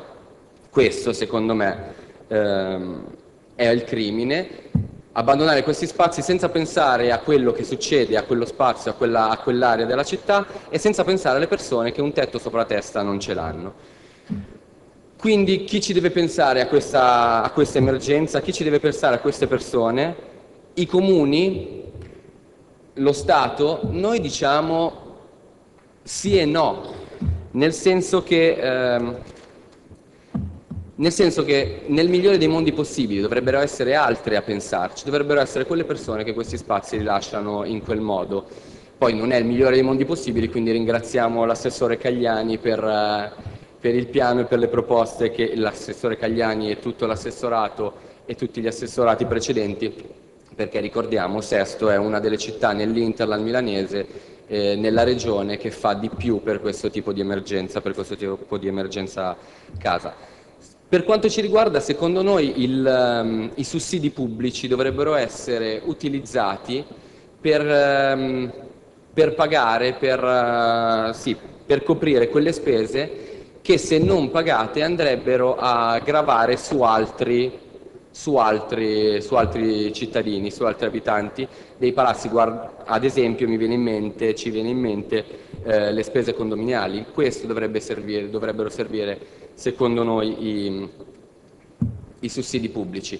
Che cosa servirebbe allora, che cosa dovrebbe esserci, che non c'è purtroppo in Italia e in tutto questo mondo occidentale, uno Stato forte che dica a questi, eh, a questi miliardari che sono loro che primi, tu, primi, tra tutti si devono fare carico del, di questa emergenza. Serve uno Stato che dica che in, in un momento come questo gli sfratti non devono essere rimandati, ma devono essere bloccati, in particolare quegli sfratti che sono legati a grandi organizzazioni, alle, alle banche alle, alle fondazioni, alle assicurazioni e a enti simili. Ricordare a questi che eh, il periodo è quello che è anche, come dicevo prima, per la negligenza e l'avidità dei sistemi che loro stessi eh, sostengono e rappresentano. Quindi si fermino un istante, fermino un istante la loro voracità dopo essere stati foraggiati per anni e capiscano quello che forse eh, andrebbe fatto per non pesare, è troppo facile pesare, continuare a scaricare questo tipo di problemi alle varie amministrazioni. Il governo deve prendere, deve prendere la legge 431 eh, del 98 e ribaltar, ribaltarla completamente. È una legge che è stata promulgata in un periodo in cui anche noi eravamo al governo, questo non, non, non lo nego, non, non posso nasconderlo, però ammettiamo, ammettiamo che stato, sono stati fatti degli errori, ammettiamo che è una legge completamente sbagliata, lo ammettiamo, cosa che non sta facendo nessuno negli, negli ultimi anni, non, non fa nessuno. Eh, quindi di chi è la colpa, chi sta sbagliando in questo contesto non si sa. Sembra quasi che a sbagliare siano le persone che rimangono senza casa, le persone sfrattate, le persone che, come diceva l'assessore Cagliani, arrivano anche a gesti più... Ehm, più cruenti, più...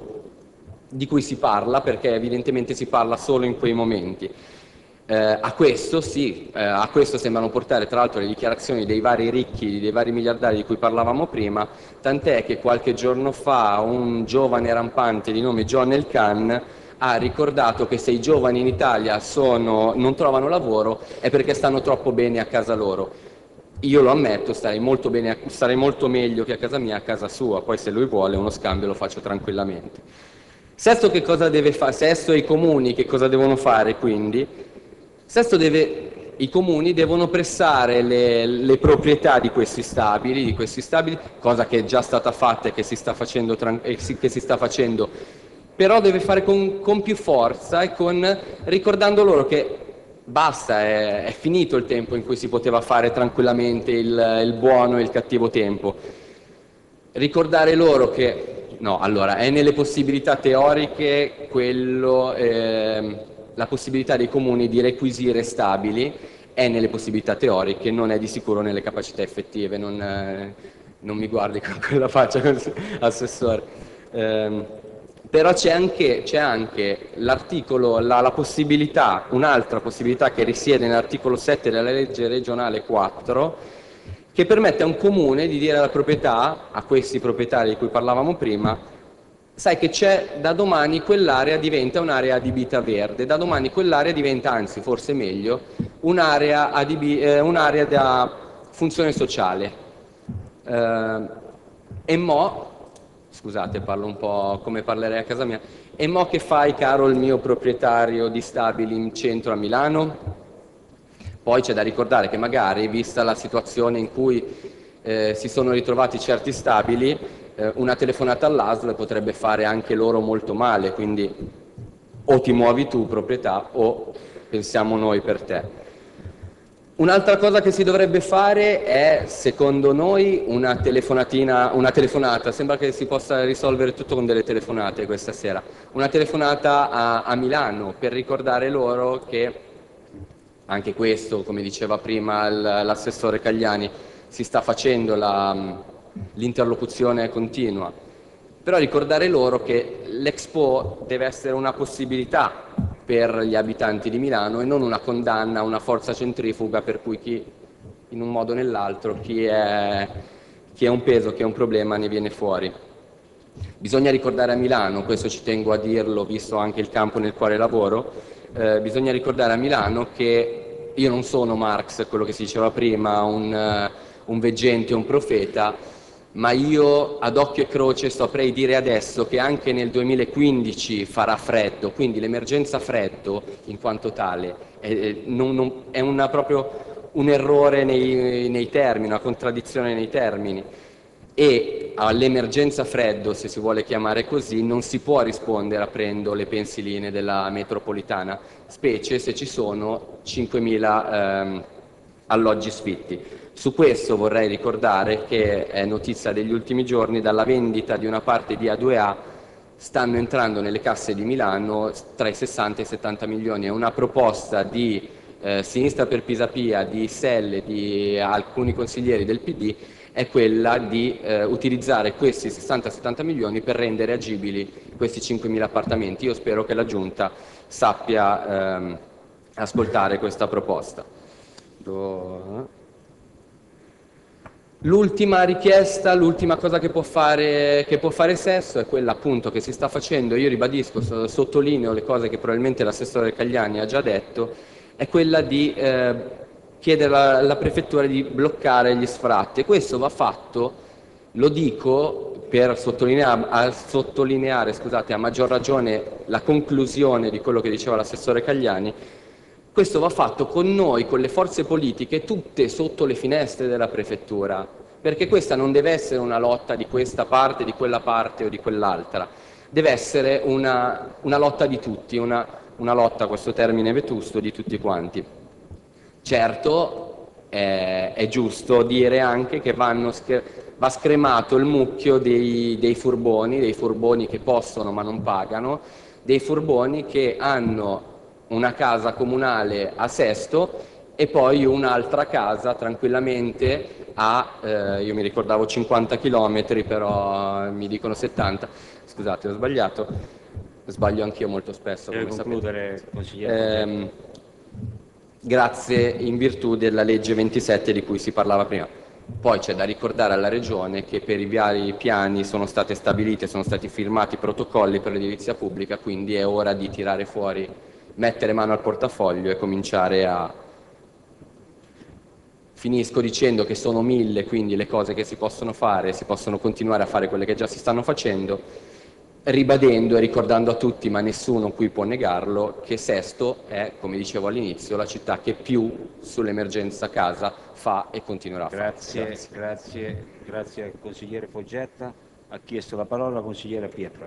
Ne ha facoltà. Sì, grazie Presidente, sarò molto veloce perché in parte il compagno Foggetta mi ha, ha detto delle cose che quindi è inutile che ripeta, soprattutto nella prima parte del suo intervento, nella seconda parte mi sono un po' persa, ma credo per distrazione mia.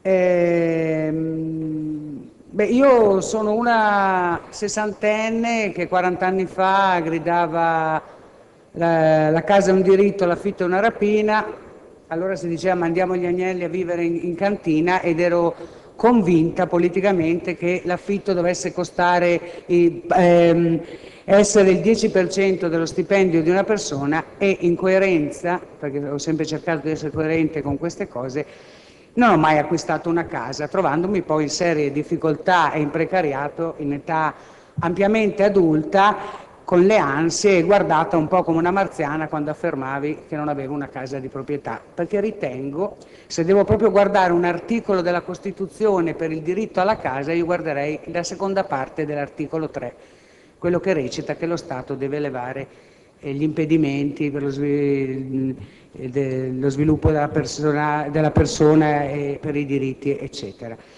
E quindi ho una mia precisa posizione sul diritto della casa. Io credo che questa crisi stia dimostrando tutta la crudeltà proprio sulla questione casa del mercato e io dico anche eh, del libero mercato, cioè laddove a pagare poi sono eh, gli ultimi, a volte spesso i più onesti, quelli che magari hanno sempre pagato le tasse. Ricordava bene Foggetta che la grossa crisi è partita proprio su speculazione su, sui mutui, con arricchimenti da parte di pochi e con un gioco eh, confusionario di vendita di mutui, di acquisto di mutui, eccetera.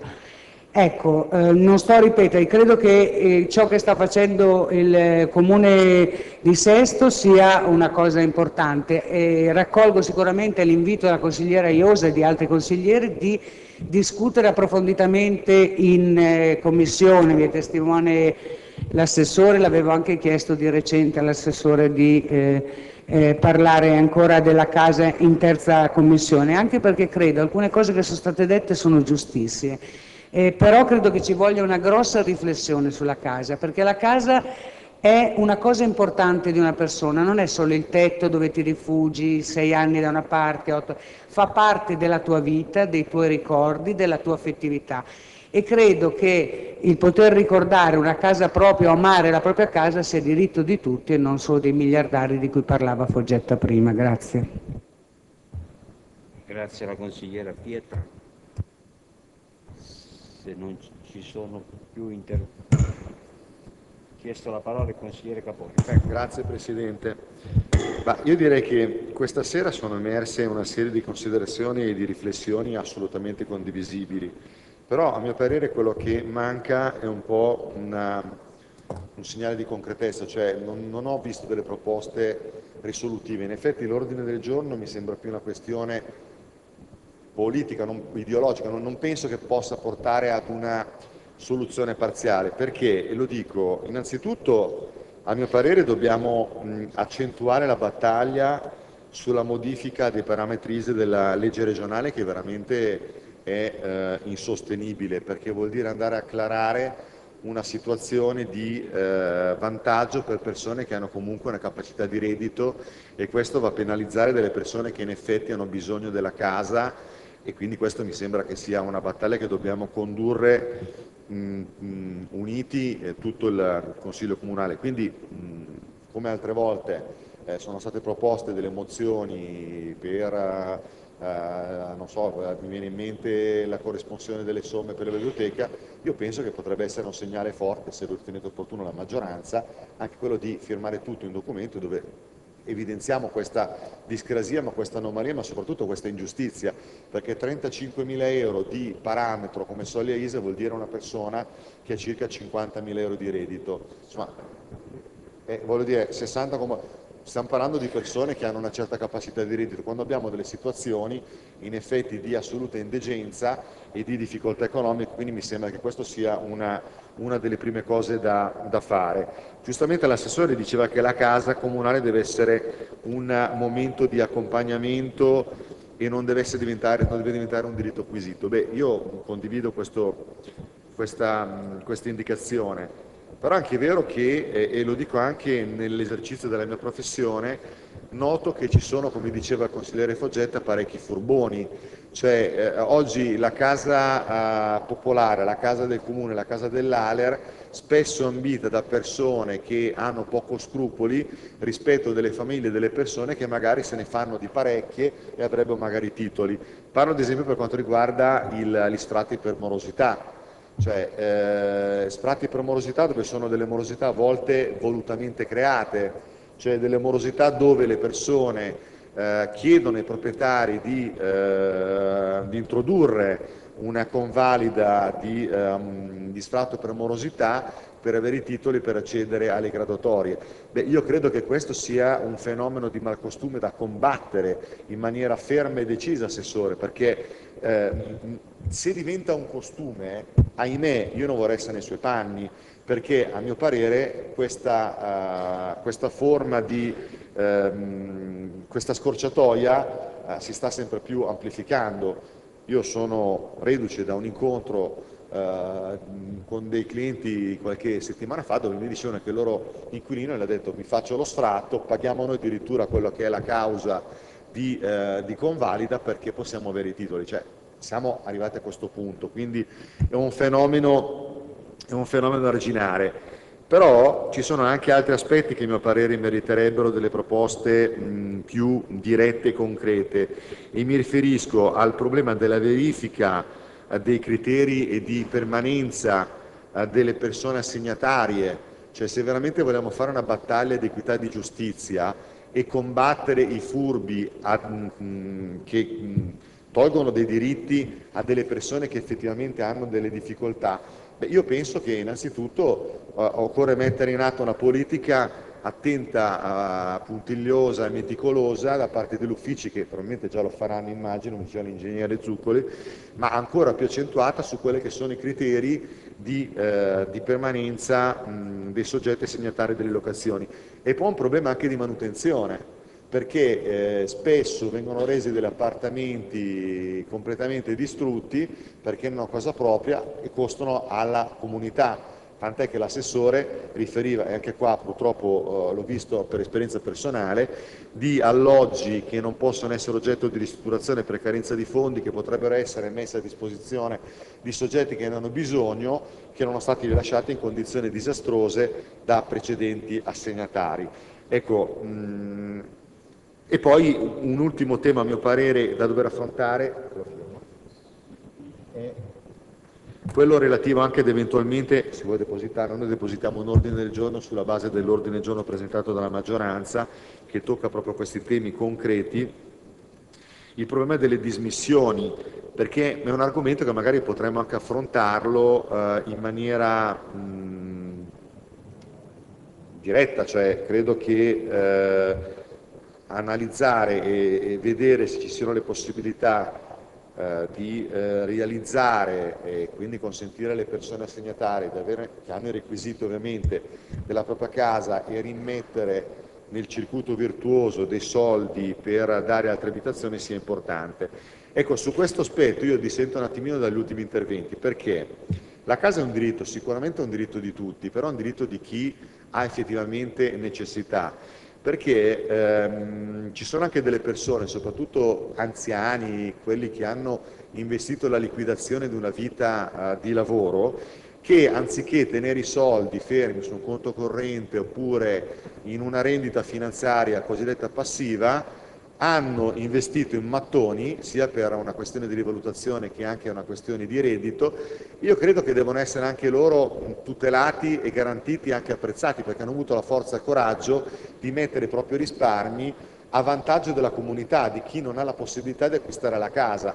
Quindi quando si dice eh, è un diritto di tutti, io credo che vada anche un po' mh, vista mh, que questa questo diritto dei proprietari, perché di fatto una persona che decide di mettere la propria liquidazione, io non parlo delle grandi proprietà eh, ovviamente, ma parlo delle persone comuni, e io ne ho visti tanti sempre nel percorso professionale, anziani che magari presa la liquidazione, la moglie e il marito eh, con i vecchi 150-100 milioni di lire acquistavano un bilocale e lo mettono a reddito. Loro arrotondano la pensione, quindi il rischio è che le morosità non incolpevoli, ma le morosità volutamente cercate creano ulteriori disagi e anche danni economici a delle persone poi che spesso sono una categoria debole come quelle degli anziani che faticano a loro volta a pagare le ristrutturazioni, a pagare l'IMU e comunque a far fronte a quelle che sono le spese magari della famiglia, le spese, le spese mediche.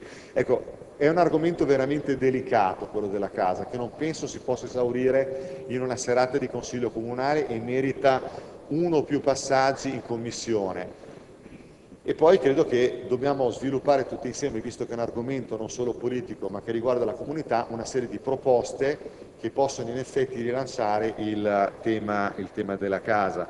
Perché se proprio devo dirla tutta, ma non è assolutamente una questione polemica, mi fa specie sentire dire che il Comune di Sesto ha svolto una politica attenta negli anni precedenti al tema della casa, primo perché abbiamo avuto delle grandi aree a disposizione utilizzate per vent'anni che avrebbero potuto benissimo adempiere a questo scopo e oggi se ci troviamo con queste emergenze vuol dire che in effetti la politica precedente non è stata sufficientemente idonea. Non è un'accusa, ovviamente è una proposta per migliorare sempre di più una politica sul tema della casa che non deve essere di parte ma ovviamente deve coinvolgere le intere forze politiche del Consiglio Comunale. Grazie. Chiesto la parola il consigliere Rivolta. Sì, cercherò di essere breve. Io credo che indipendentemente da quello che noi questa sera possiamo discutere e possiamo aver messo in campo in termini di proposte, le azioni che l'amministrazione comunale svolge sono molte, variegate e come dire, anche fantasiose se vogliamo in una certa misura.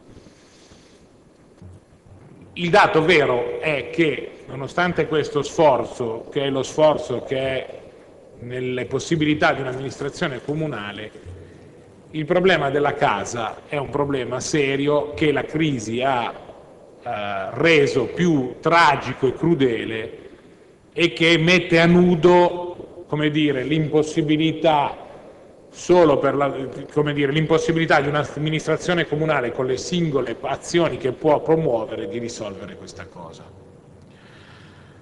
Ecco perché consigliere Caponi dire che le politiche degli ultimi vent'anni sono sbagliate, altrimenti non ci sarebbe un problema, non, da, non parte da un dato della realtà. Il problema a casa è un problema che attraversa tutti i comuni d'Italia e che casomai nella città di Sesto San Giovanni ha come dire, un picco di difficoltà diverso e minore rispetto a altre situazioni.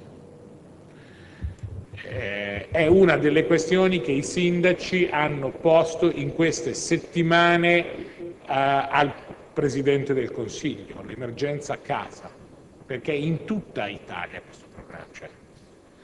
E guardi, pensare che la soluzione fosse nella trasformazione delle aree vuol dire ripercorrere e in questo, nonostante non condivida l'impostazione della consigliera Landucci e permettetemi di dire anche la rozzezza con cui ha affrontato il dibattito, ma una cosa giusta la dice. Non è costruendo più case che si risolve il problema, non è costruendo più case, perché in questa città ci sono molte case sfitte, in Italia, in questa città e ovunque. Anzi, mi verrebbe da dire che la quantità di case che sono state costruite fino a un certo punto in questo Paese hanno contribuito a non risolvere il problema, perché hanno spinto una vicenda di aumento dei prezzi tale da mettere in difficoltà dire, le famiglie italiane. Solo adesso, negli ultimi due anni, noi assistiamo a un dire, decremento dei prezzi delle case. Quindi la soluzione non è costruire più case, anche perché sennò altrimenti dire, non si capisce qual è lo spettro di interventi che si devono fare, dire, perché io capisco che va bene, ci sta la polemica politica, quindi bisogna attaccare l'amministrazione comunale, però non si può, cioè mettetevi d'accordo, ma, o anche che no, siccome però mi sembra di capire che state firmando un ordine del giorno insieme, la consigliera Franciosi invece criticava fortemente le politiche che hanno sviluppato in maniera, come dire, esagerata il territorio sestese.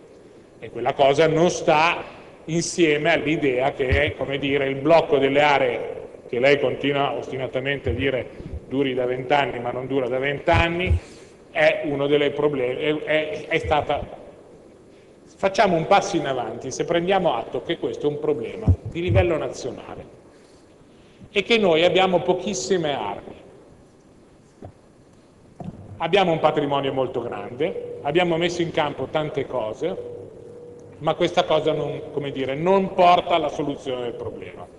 Consigliera Landucci, sarà anche vero, come dice lei, che non arrivano gli sfratti, ma l'assessore Cagliani ha parlato di 150 sfratti.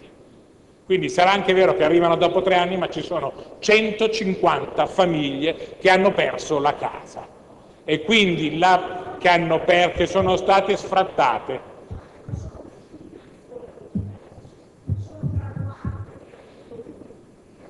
Lei sa tutto evidentemente, sa tutto e per questo ha trovato il Consiglio Comunale inutile. Invece altri hanno trovato il Consiglio Comunale come un'occasione per intervenire, per fare delle proposte. Lei naturalmente di proposte non ne ha fatte, non si capisce come pensava di governare questa città, visto che non fa mai...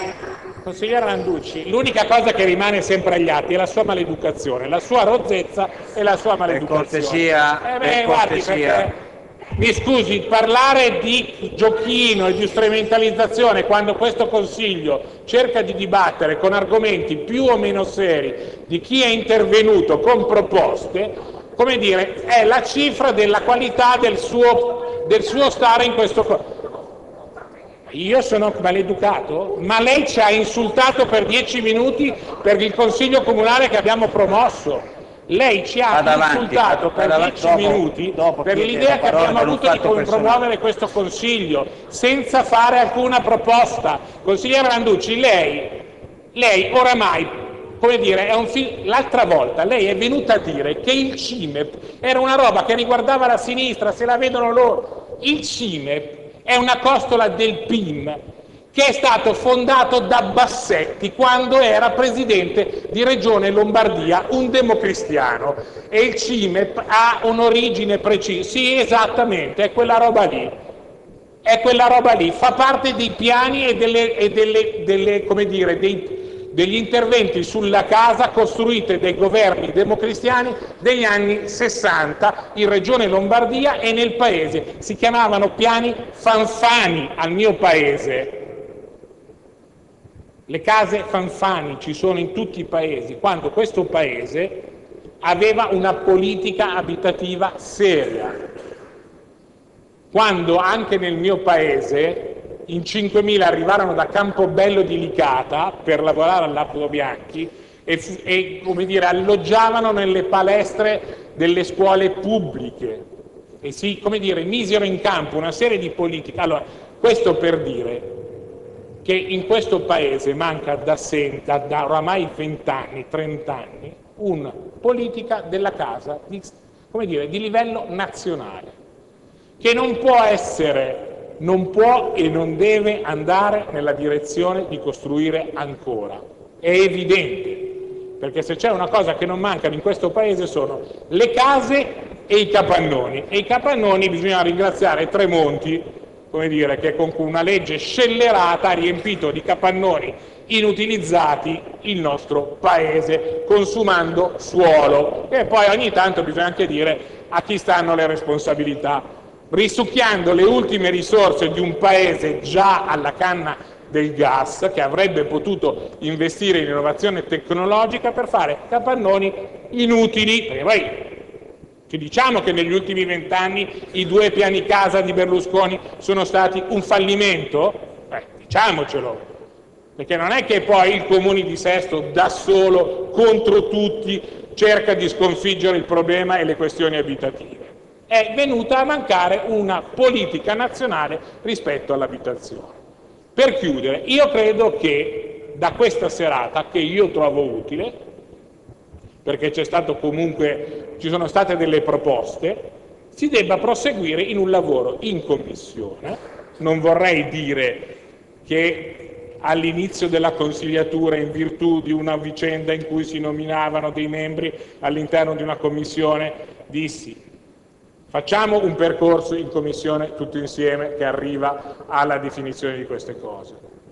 Perché se è stato richiesto questo consiglio è perché la gravità del problema è tale che forse merita l'attenzione a partire da un consiglio comunale, a partire dalla commissione. Se si parte dalla commissione ci chiedete di partire dal consiglio comunale, se si parte dal consiglio comunale si chiede di partire dalla commissione, diciamo che questa sera abbiamo fatto il consiglio e che nelle prossime settimane se calendarizziamo una serie di come dire, prima di tutto probabilmente di ulteriori dati. Io non ho capito, per esempio, ma non è polemica, se la consigliera Franciosi si riferiva agli edifici pubblici sfitti o a quelli privati. Non ho capito realmente eh, quando nel suo intervento. No, ok. Ok, si riferiva ai privati. No, no, no, non avevo capito. eh, si può anche non capire, io in genere lo ammetto quando non capisco. Ok, Anche Ci sono perché il comune certo, non ce n'ha appartamenti sfitti. eh. Appunto, esatto, perché gli edifici pubblici... No, sì. Beh, guardi, Aler Milano ha pieno di edifici sfitti a Milano, eh, guarda, perché poi vogliamo anche parlare di Aler, possiamo anche parlare di Aler. È vero che Aler, come dire, eh, soccombe rispetto ai costi della, della delle, dire, delle manutenzioni, soccombe anche rispetto a una gestione scellerata di questi anni che a un certo punto è esplosa con un debito gigantesco e Aler non la controlla il comune di Sesto San Giovanni, per esempio. Eh, perché tutto va bene, ma Aler non la controlla il comune di Sesto San Giovanni, la controlla Regione Lombardia.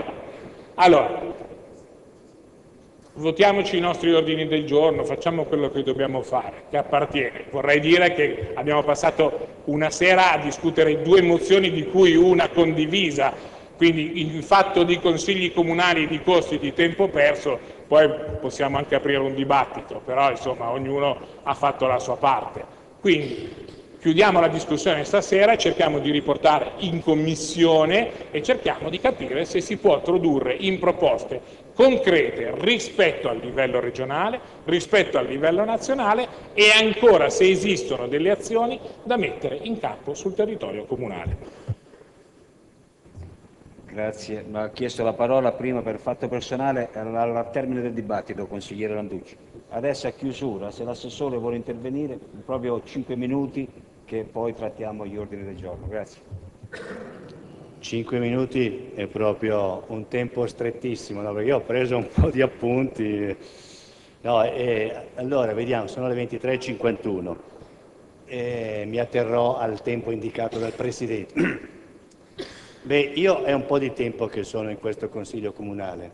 Se i consigli comunali dovessero essere fatti sulla base della presenza del pubblico, penso che ne avremmo fatti un quinto in questi ultimi anni perché al di là di alcune serate che potrebbero essere 10 nell'arco dell'anno, non c'è quasi, chiedo scusa ai presenti, non c'è moltissima gente, quindi non è quello il metodo di paragone con cui si fanno i consigli comunali.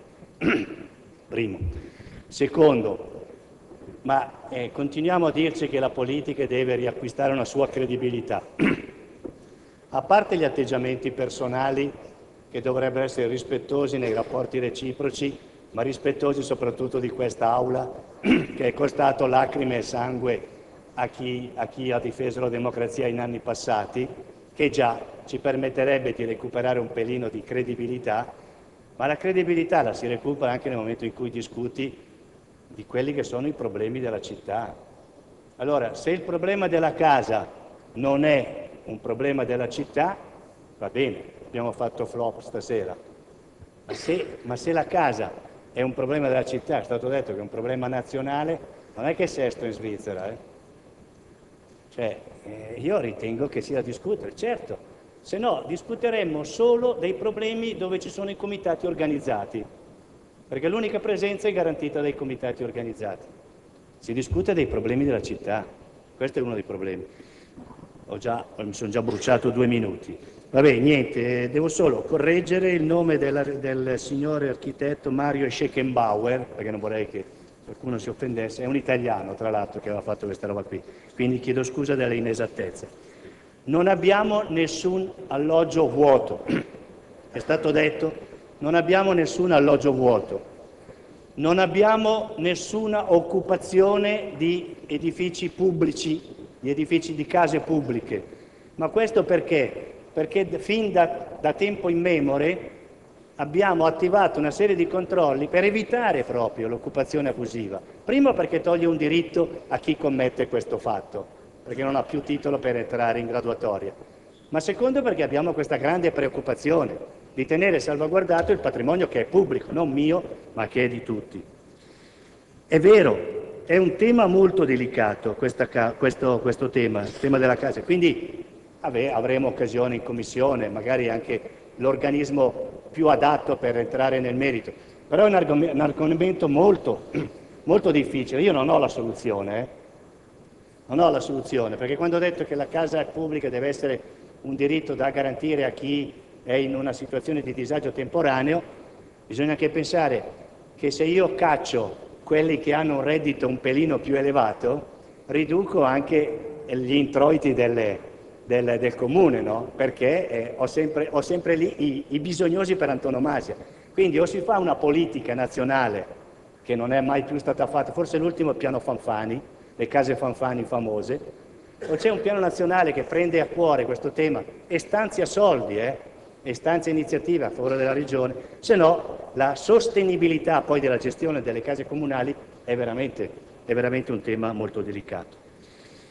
Cosa dire? Eh, molte modifiche saranno possibili, ma saranno possibili nel momento in cui andiamo anche a modificare il PGT. Se il PGT è in scadenza, poi non so quando lo andremo a discutere, comunque a breve lo andremo a discutere, certo è da rivedere, ma anche nel nostro PGT, tra l'altro, da un'analisi puntuale effettuata, non risultano neanche stanziamenti eh, in termini di immobili per edilizia a canone sociale. C'è un titolo che si chiama ERS, edilizia residenziale sociale, ma poi è declinato tutto con canone moderato, concordato e convenzionato. Quindi è logico che se metteremo mano al PGT metteremo mano anche a questo capitolo che non prevede il canone sociale. Ripeto, sarebbero molte le cose. No, ecco, l'unica cosa che volevo, che volevo evidenziare, perché mi è sembrata una inesattezza, Ah, ecco, no, sulla, eh, mi pare che l'intervento di Tremolada eh, diceva che eh, bisognerebbe garantire la certezza del rendere poi l'immobile a chi si candida per offrirlo. Ma eh, se voi guardate nel portale che c'è, ci sono un paio di, di, di, di link, di icone in PDF, no? c'è un regolamento dove addirittura se il proprietario richiede indietro la casa perché il figlio si sposa, perché sono elencati i motivi, no? riprendiamo, in esame, riprendiamo, in esame, la pratica, eh, cioè da questo punto di vista è previsto l'intervento. Cosa volete che vi dica? Che la casa sia un diritto, l'avete detto in tanti e io sono il primo a, a crederci. Che lo sfitto sia un delitto, io sono altrettanto convinto che soprattutto in, in presenza di una emergenza come l'attuale sia un delitto. Ma eh, noi stiamo lavorando proprio per non andare né a occupare ulteriormente suolo pubblico, e perché con l'iniziativa Il Comune cerca casa andiamo a prenderci, se è possibile, lo sfitto del privato. Se lo andiamo a prendere in termini regolari. Noi, naturalmente, da amministratori siamo chiamati a rispondere alla legge. Quindi andiamo ad occupare le case quando la proprietà ci riconosce questo diritto di occuparla la casa. Non lo facciamo se la proprietà non lo riconosce. Sull'occupazione io non so dire altro, tranne che il Comune non ha speso un euro eh, non ha speso nulla né per togliere né per sistemare le persone, le persone che... Certo, non siamo entrati assolutamente in merito perché lì si tratta di un'occupazione di, un diritto, di una casa privata, di un edificio privato e quindi non abbiamo messo titolo, non abbiamo messo nessuna voce in campo. Grazie, grazie a tutti comunque del dibattito, chiedo scusa, eh, questo senz'altro, grazie. Grazie all'assessore Cagliani per la sua relazione molto esaustiva stasera. Grazie ancora. Adesso trattiamo i due ordini dei giorni che forse ne diventerà uno.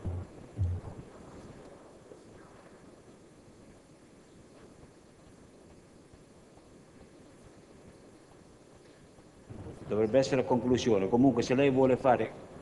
Prego, prego. Io volevo solo dire che mi colpisce sempre da parte della maggioranza l'incapacità di contrastare senza l'offesa personale. Cioè se io dico che un, che un consiglio comunale è inutile, non sto offendendo nessuno. Ma se lei dice che io mi comporto con rozzezza, lei sta offendendo me. La differenza è solo questo. Lei può dire che il mio intervento è inutile, è superfluo e fin qui ci siamo perché siamo sui contenuti, ma lei invece attacca solo la persona. Questo è sbagliato e questo è molto offensivo, perché se mi permette, eh, qui non siamo davvero nel massimo della raffinatezza e non mi pare assolutamente di essere tra quelli che più possono meritarsi l'accusa e che comunque lei non deve fare e di cui le chiederei le scuse perché una cosa è dire che, no, che il mio intervento è inutile o sbagliato, una cosa è dire che la mia rozzezza, questo è un attacco alla persona che lei non si può permettere e per il quale meriterebbe una, una querela per diffamazione. È chiaro? Perché qui bisogna imparare che le persone non si offendono. Invece noi, noi interveniamo, magari sbagliamo, per carità, nessuno dice di essere perfetto, però io qui non sento mai attacchi a singoli consiglieri nella loro persona, invece di lì vi alzate e ci fate sempre la lezione. su come i nostri comportamenti sono sbagliati. Chiariamo, qui nessuno, né da questa parte nei vostri confronti,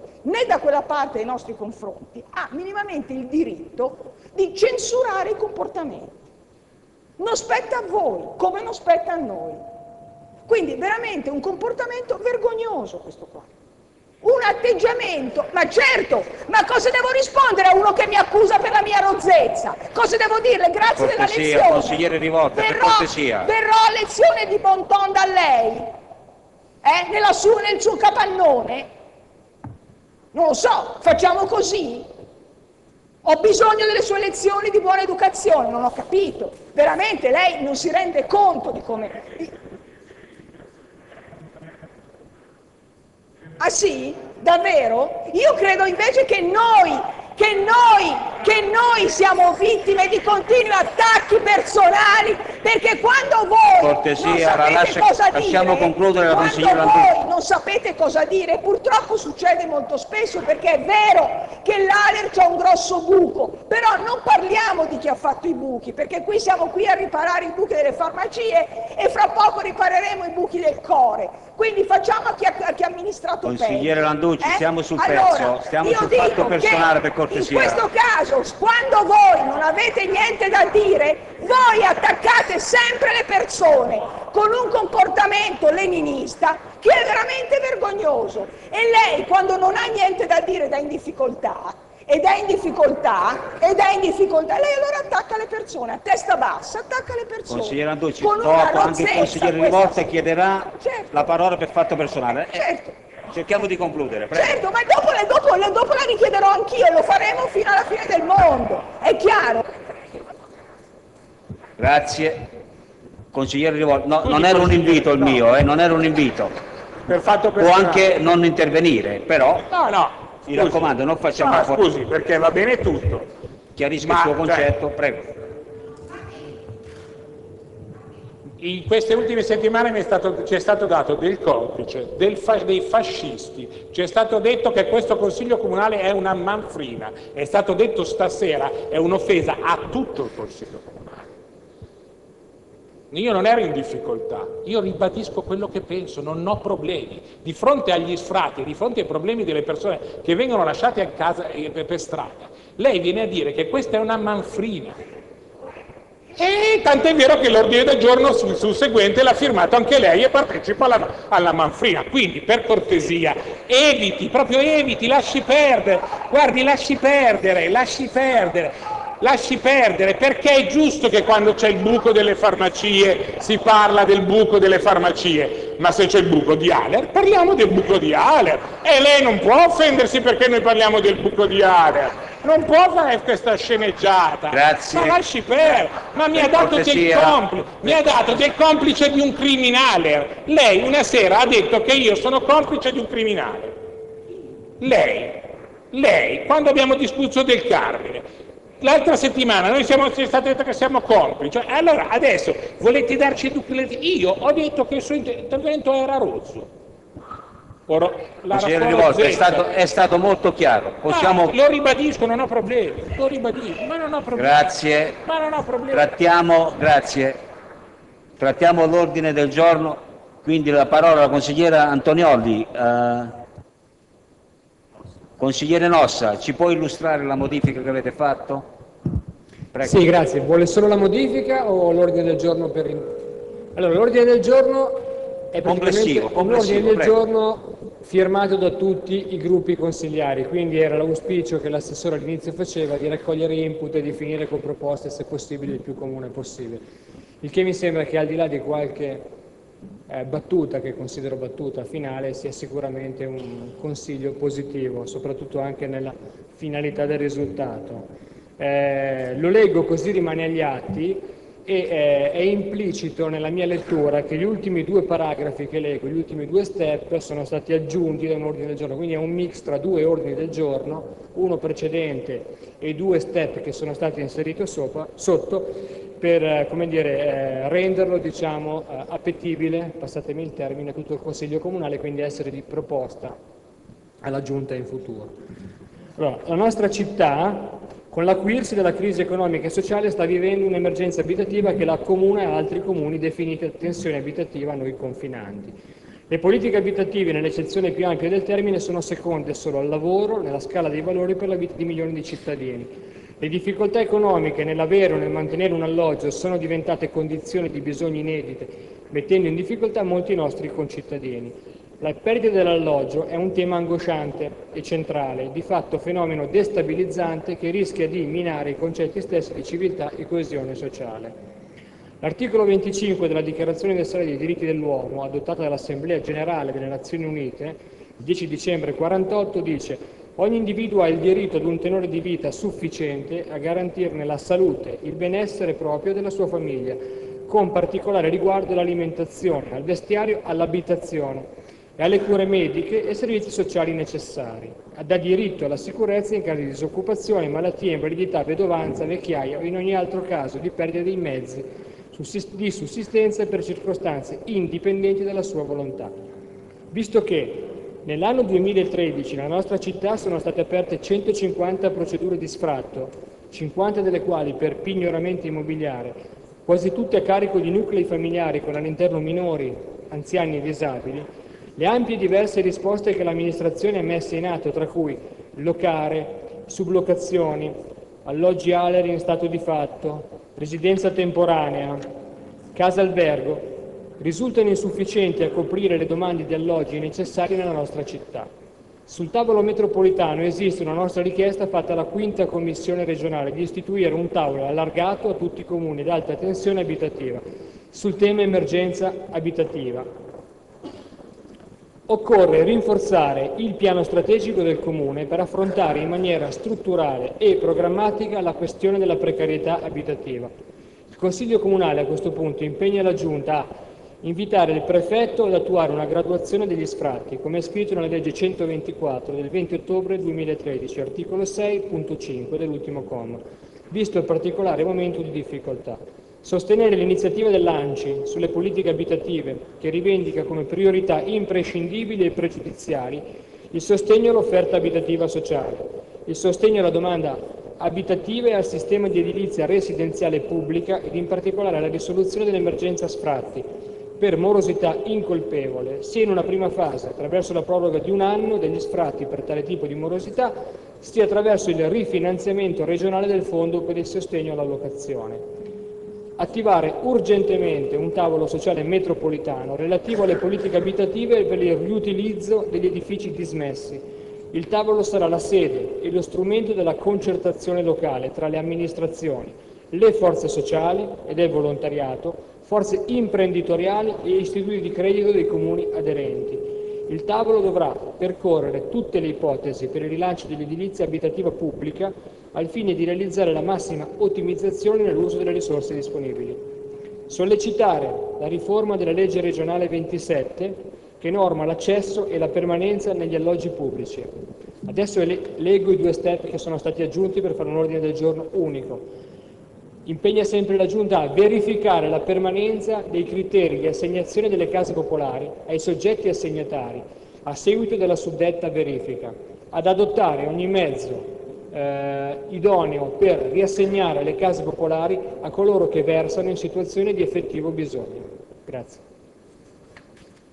Grazie consigliere Nossa. Eh, su quest'ordine del giorno, visto che è stato firmato da tutti, credo che non ci sono interventi. Quindi mettiamo in votazione eh, l'integrazione, che i due ordini del giorno è diventato uno, integrato, quindi mettiamo in votazione l'unico ordine del giorno. Inizia votazione, prego.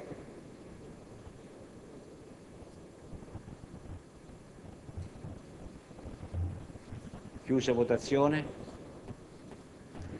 Consiglieri presenti 20, contrari nessuno, astenuti nessuno, favorevoli 20, il Consiglio approva. Il Sindaco era distratto, non l'ha votato, sì, fa la dichiarazione ovviamente. di voto. Prego. Scusate, ovviamente sono favorevole, grazie.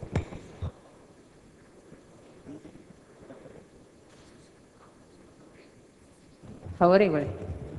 Quindi consiglieri 21 presenti al voto, favorevoli 21, il Consiglio approva all'unanimità. Grazie. Grazie. Eh, ci vediamo il 16. Buonanotte a tutti. La seduta è tolta. Grazie.